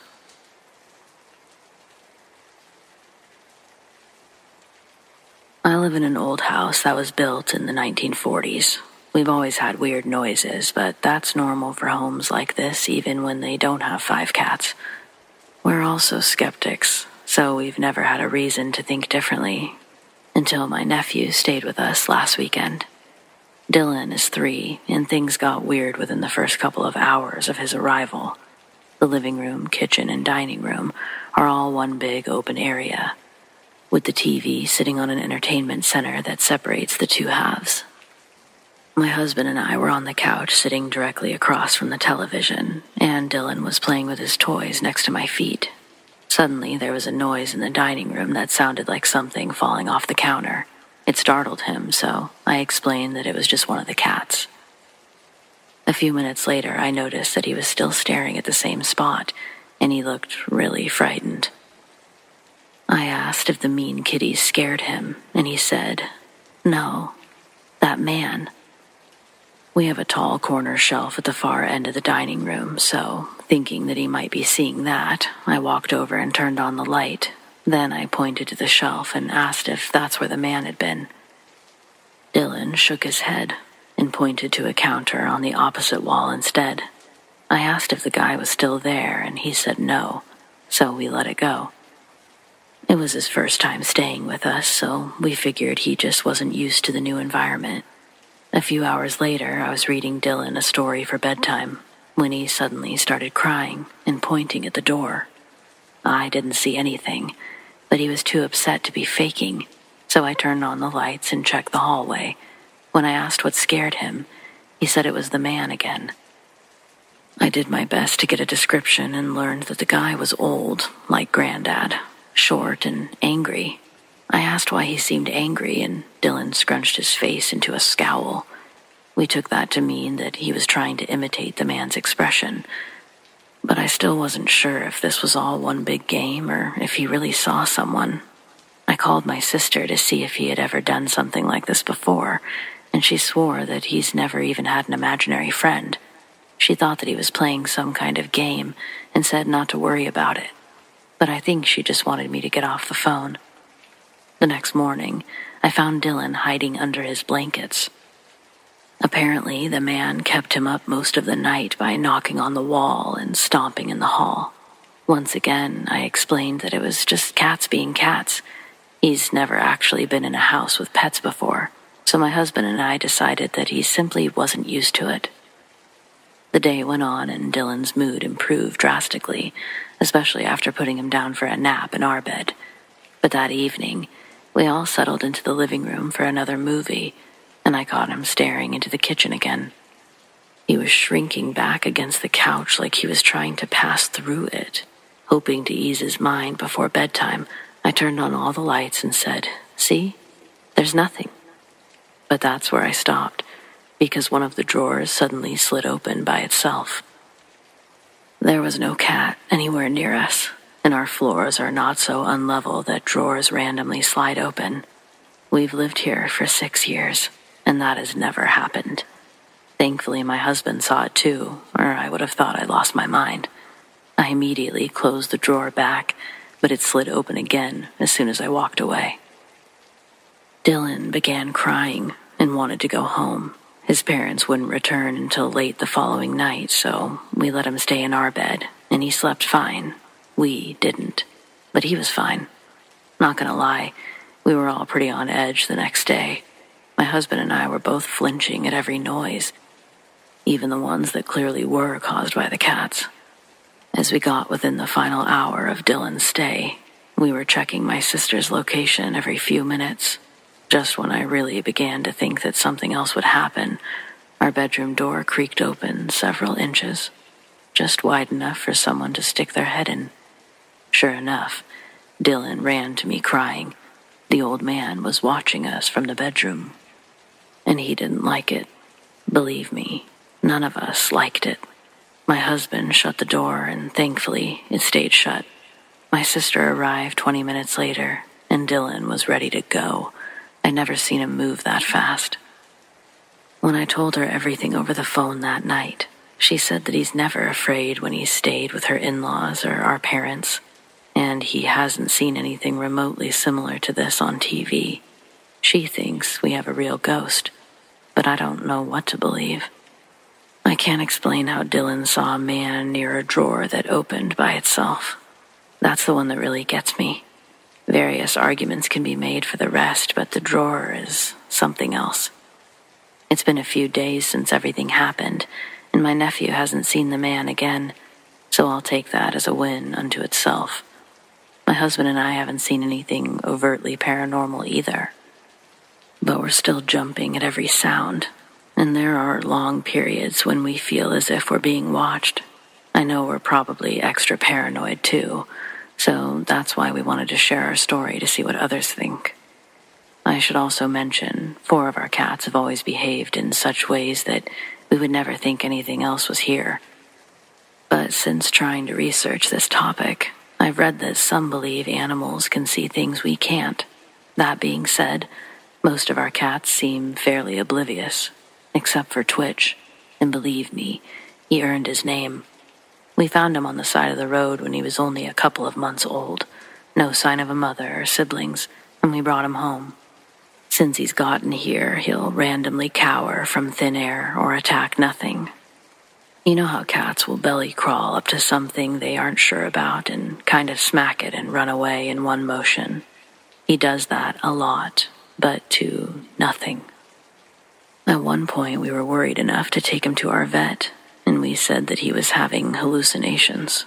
She agreed it didn't sound normal, but lots of expensive tests later, he got a clean bill of health, and we accepted that he was just a quirky cat. Now, I'm wondering about that again, too. I don't know. I guess that's everything, though. So thanks for listening, and all advice is greatly appreciated.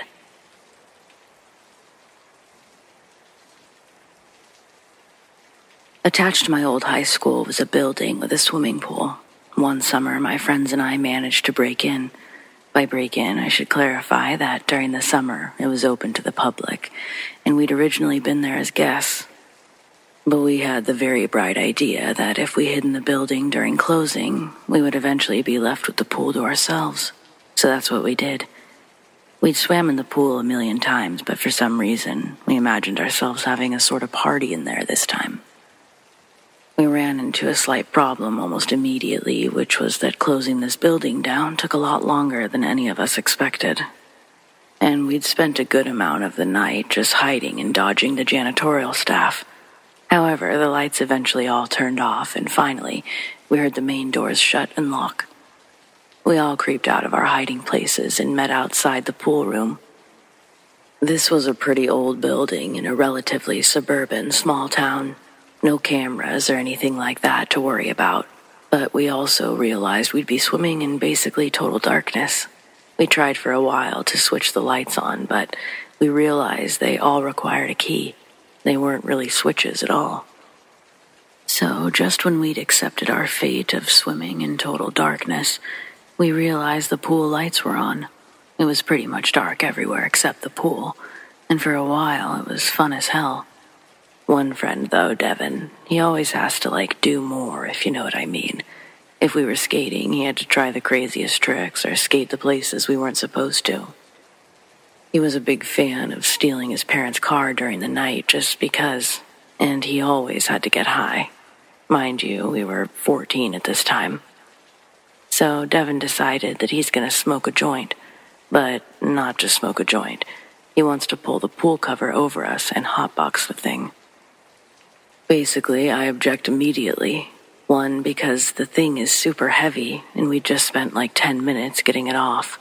But two, because I don't want to hotbox anything. Enough people agree, and so Devin and a couple others decide to hotbox the sauna instead. It's in the same structure as the pool, and the door faces the deep end. While they go do that, the rest of us decide to do backflips off the diving board, showing off, just bullshitting around. I get kinda tired at some point and just let myself sort of wade in the water, watching my friends continue to do their thing. Then I decide I'll go sit in the hot tub for a while. Swimming in the direction of the ladder, I feel someone grab my leg and pull me back in the direction I just came from. I wasn't expecting it at all, and I found myself inhaling a bit of water. It hadn't just pulled me, though. Something was keeping me underwater. I struggle long enough to start panicking, and when I finally emerge from the water, I'm gasping for air. Naturally, I'm sort of pissed, and I know that I'm about to get someone back really good. But as I look around me, directly around me, I see there's no one around me. Everyone's still either on the other side of the pool, waiting to do flips from the outside, while the rest are still in the sauna. Then splashing could be heard behind me, but I already knew that no one was there. Instead of even looking, I swim as fast as I can to the other side of the pool. When I raced out of the pool, everyone's asking me what the hell's wrong. I didn't say a word, but they wouldn't stop staring, so I just told them flat out we gotta get out of this pool. That's when our friend James flew out of the sauna. Devin and the rest followed quickly behind him. They all looked thoroughly freaked.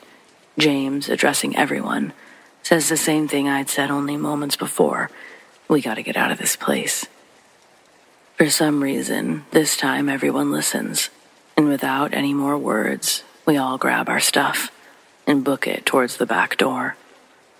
As we make our way out of the building, anything but gracefully, Devin is hollering about the sauna having a mind of its own, and he's yelling, asking why none of us opened the door for them.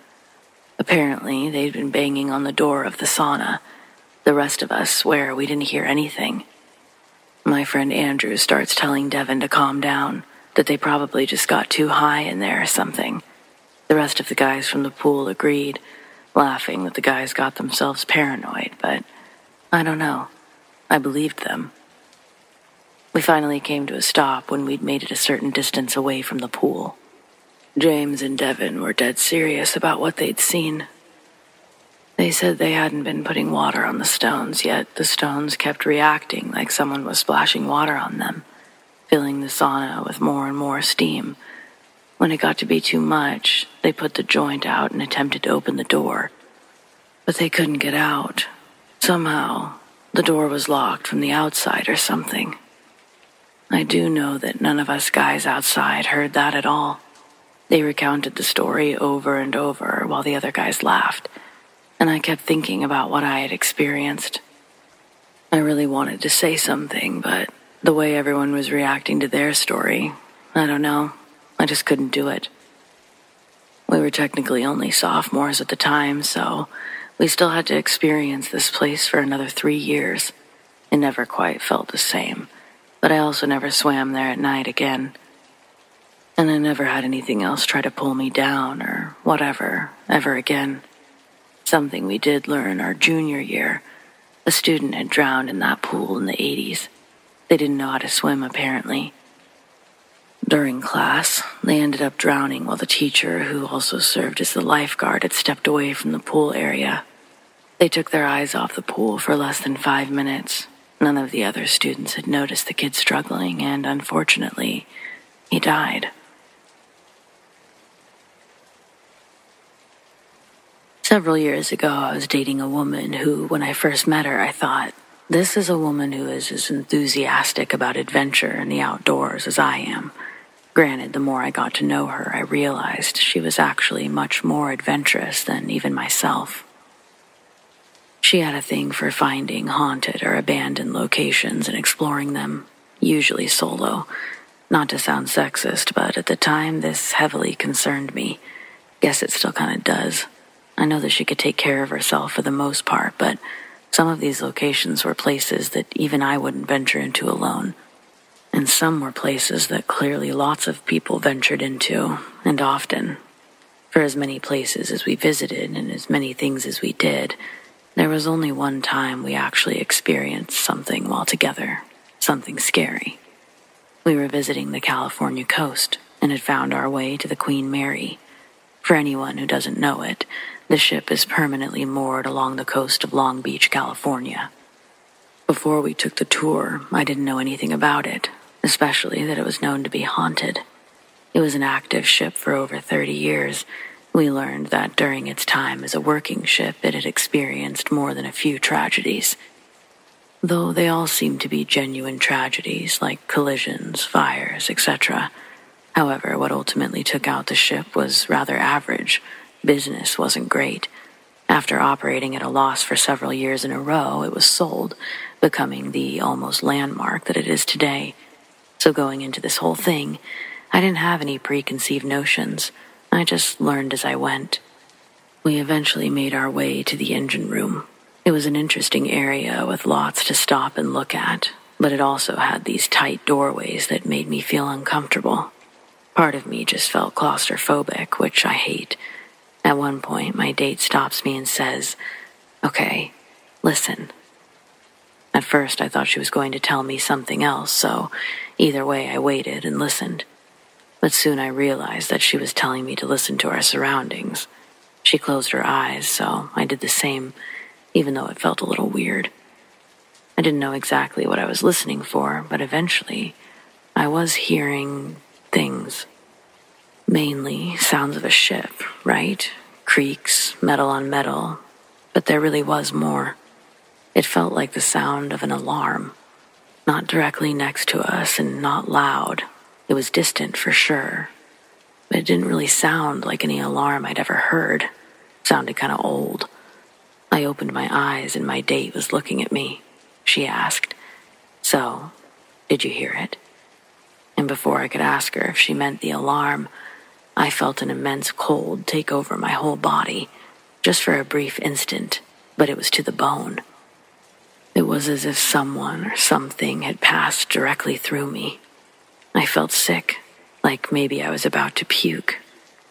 The thought of puking during a public tour was humiliating enough, but then I started to feel dizzy. So not only was I going to puke, now I was going to pass out too. I imagined myself passing out into my own puke, and there was just no way. I tried to continue walking in the direction that would lead us out of the engine room. For a minute, I was sure I was pulling it off, but my date thought otherwise. She stopped me, asking if I was all right. In the moment that she did, I felt a soaring pain through my chest. I've never felt anything like it. That's what I remember thinking at the time. I also remember thinking it's horrible, but it was brief. What's odd now, though, is that I don't really remember the pain itself. What I recall most is that as soon as the pain ceased, so did everything else. I wasn't nauseous anymore, and the dizziness had subsided. Even my date could see the shift, and she exhaled in relief that I was okay. Then she asked me again, Did I hear it? I told her I heard what I thought sounded like an alarm, a weird old alarm, and I watched her expression turn up into a smile. She told me she'd been here before, that she'd seen something there before. A man. He was a young man, sweaty, dressed in overalls.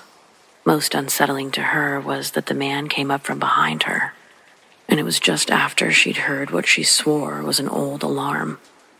He was running, and she barely moved out of the way as he passed by where she watched him disappear while passing through the various doorways.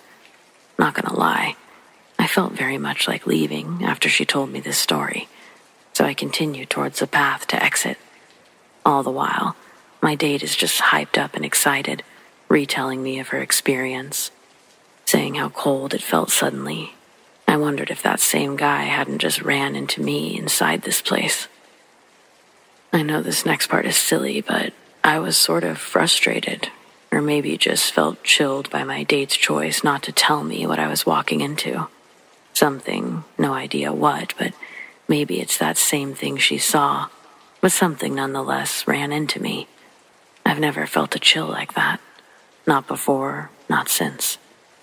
I don't like to mess with ghosts and such. I mean, honestly, before this, I think I mainly didn't believe in ghosts out of fear. I don't like to think about what it means to be a spirit, how one gets there, how one doesn't. I mean, respect for the dead, for sure, but I'm not eager to communicate with them. If you ever find yourself in Long Beach, maybe give it a visit and decide for yourself. Oh, and you can sleep there, like rent a room. They're beautiful, but no thank you. Knock yourself out.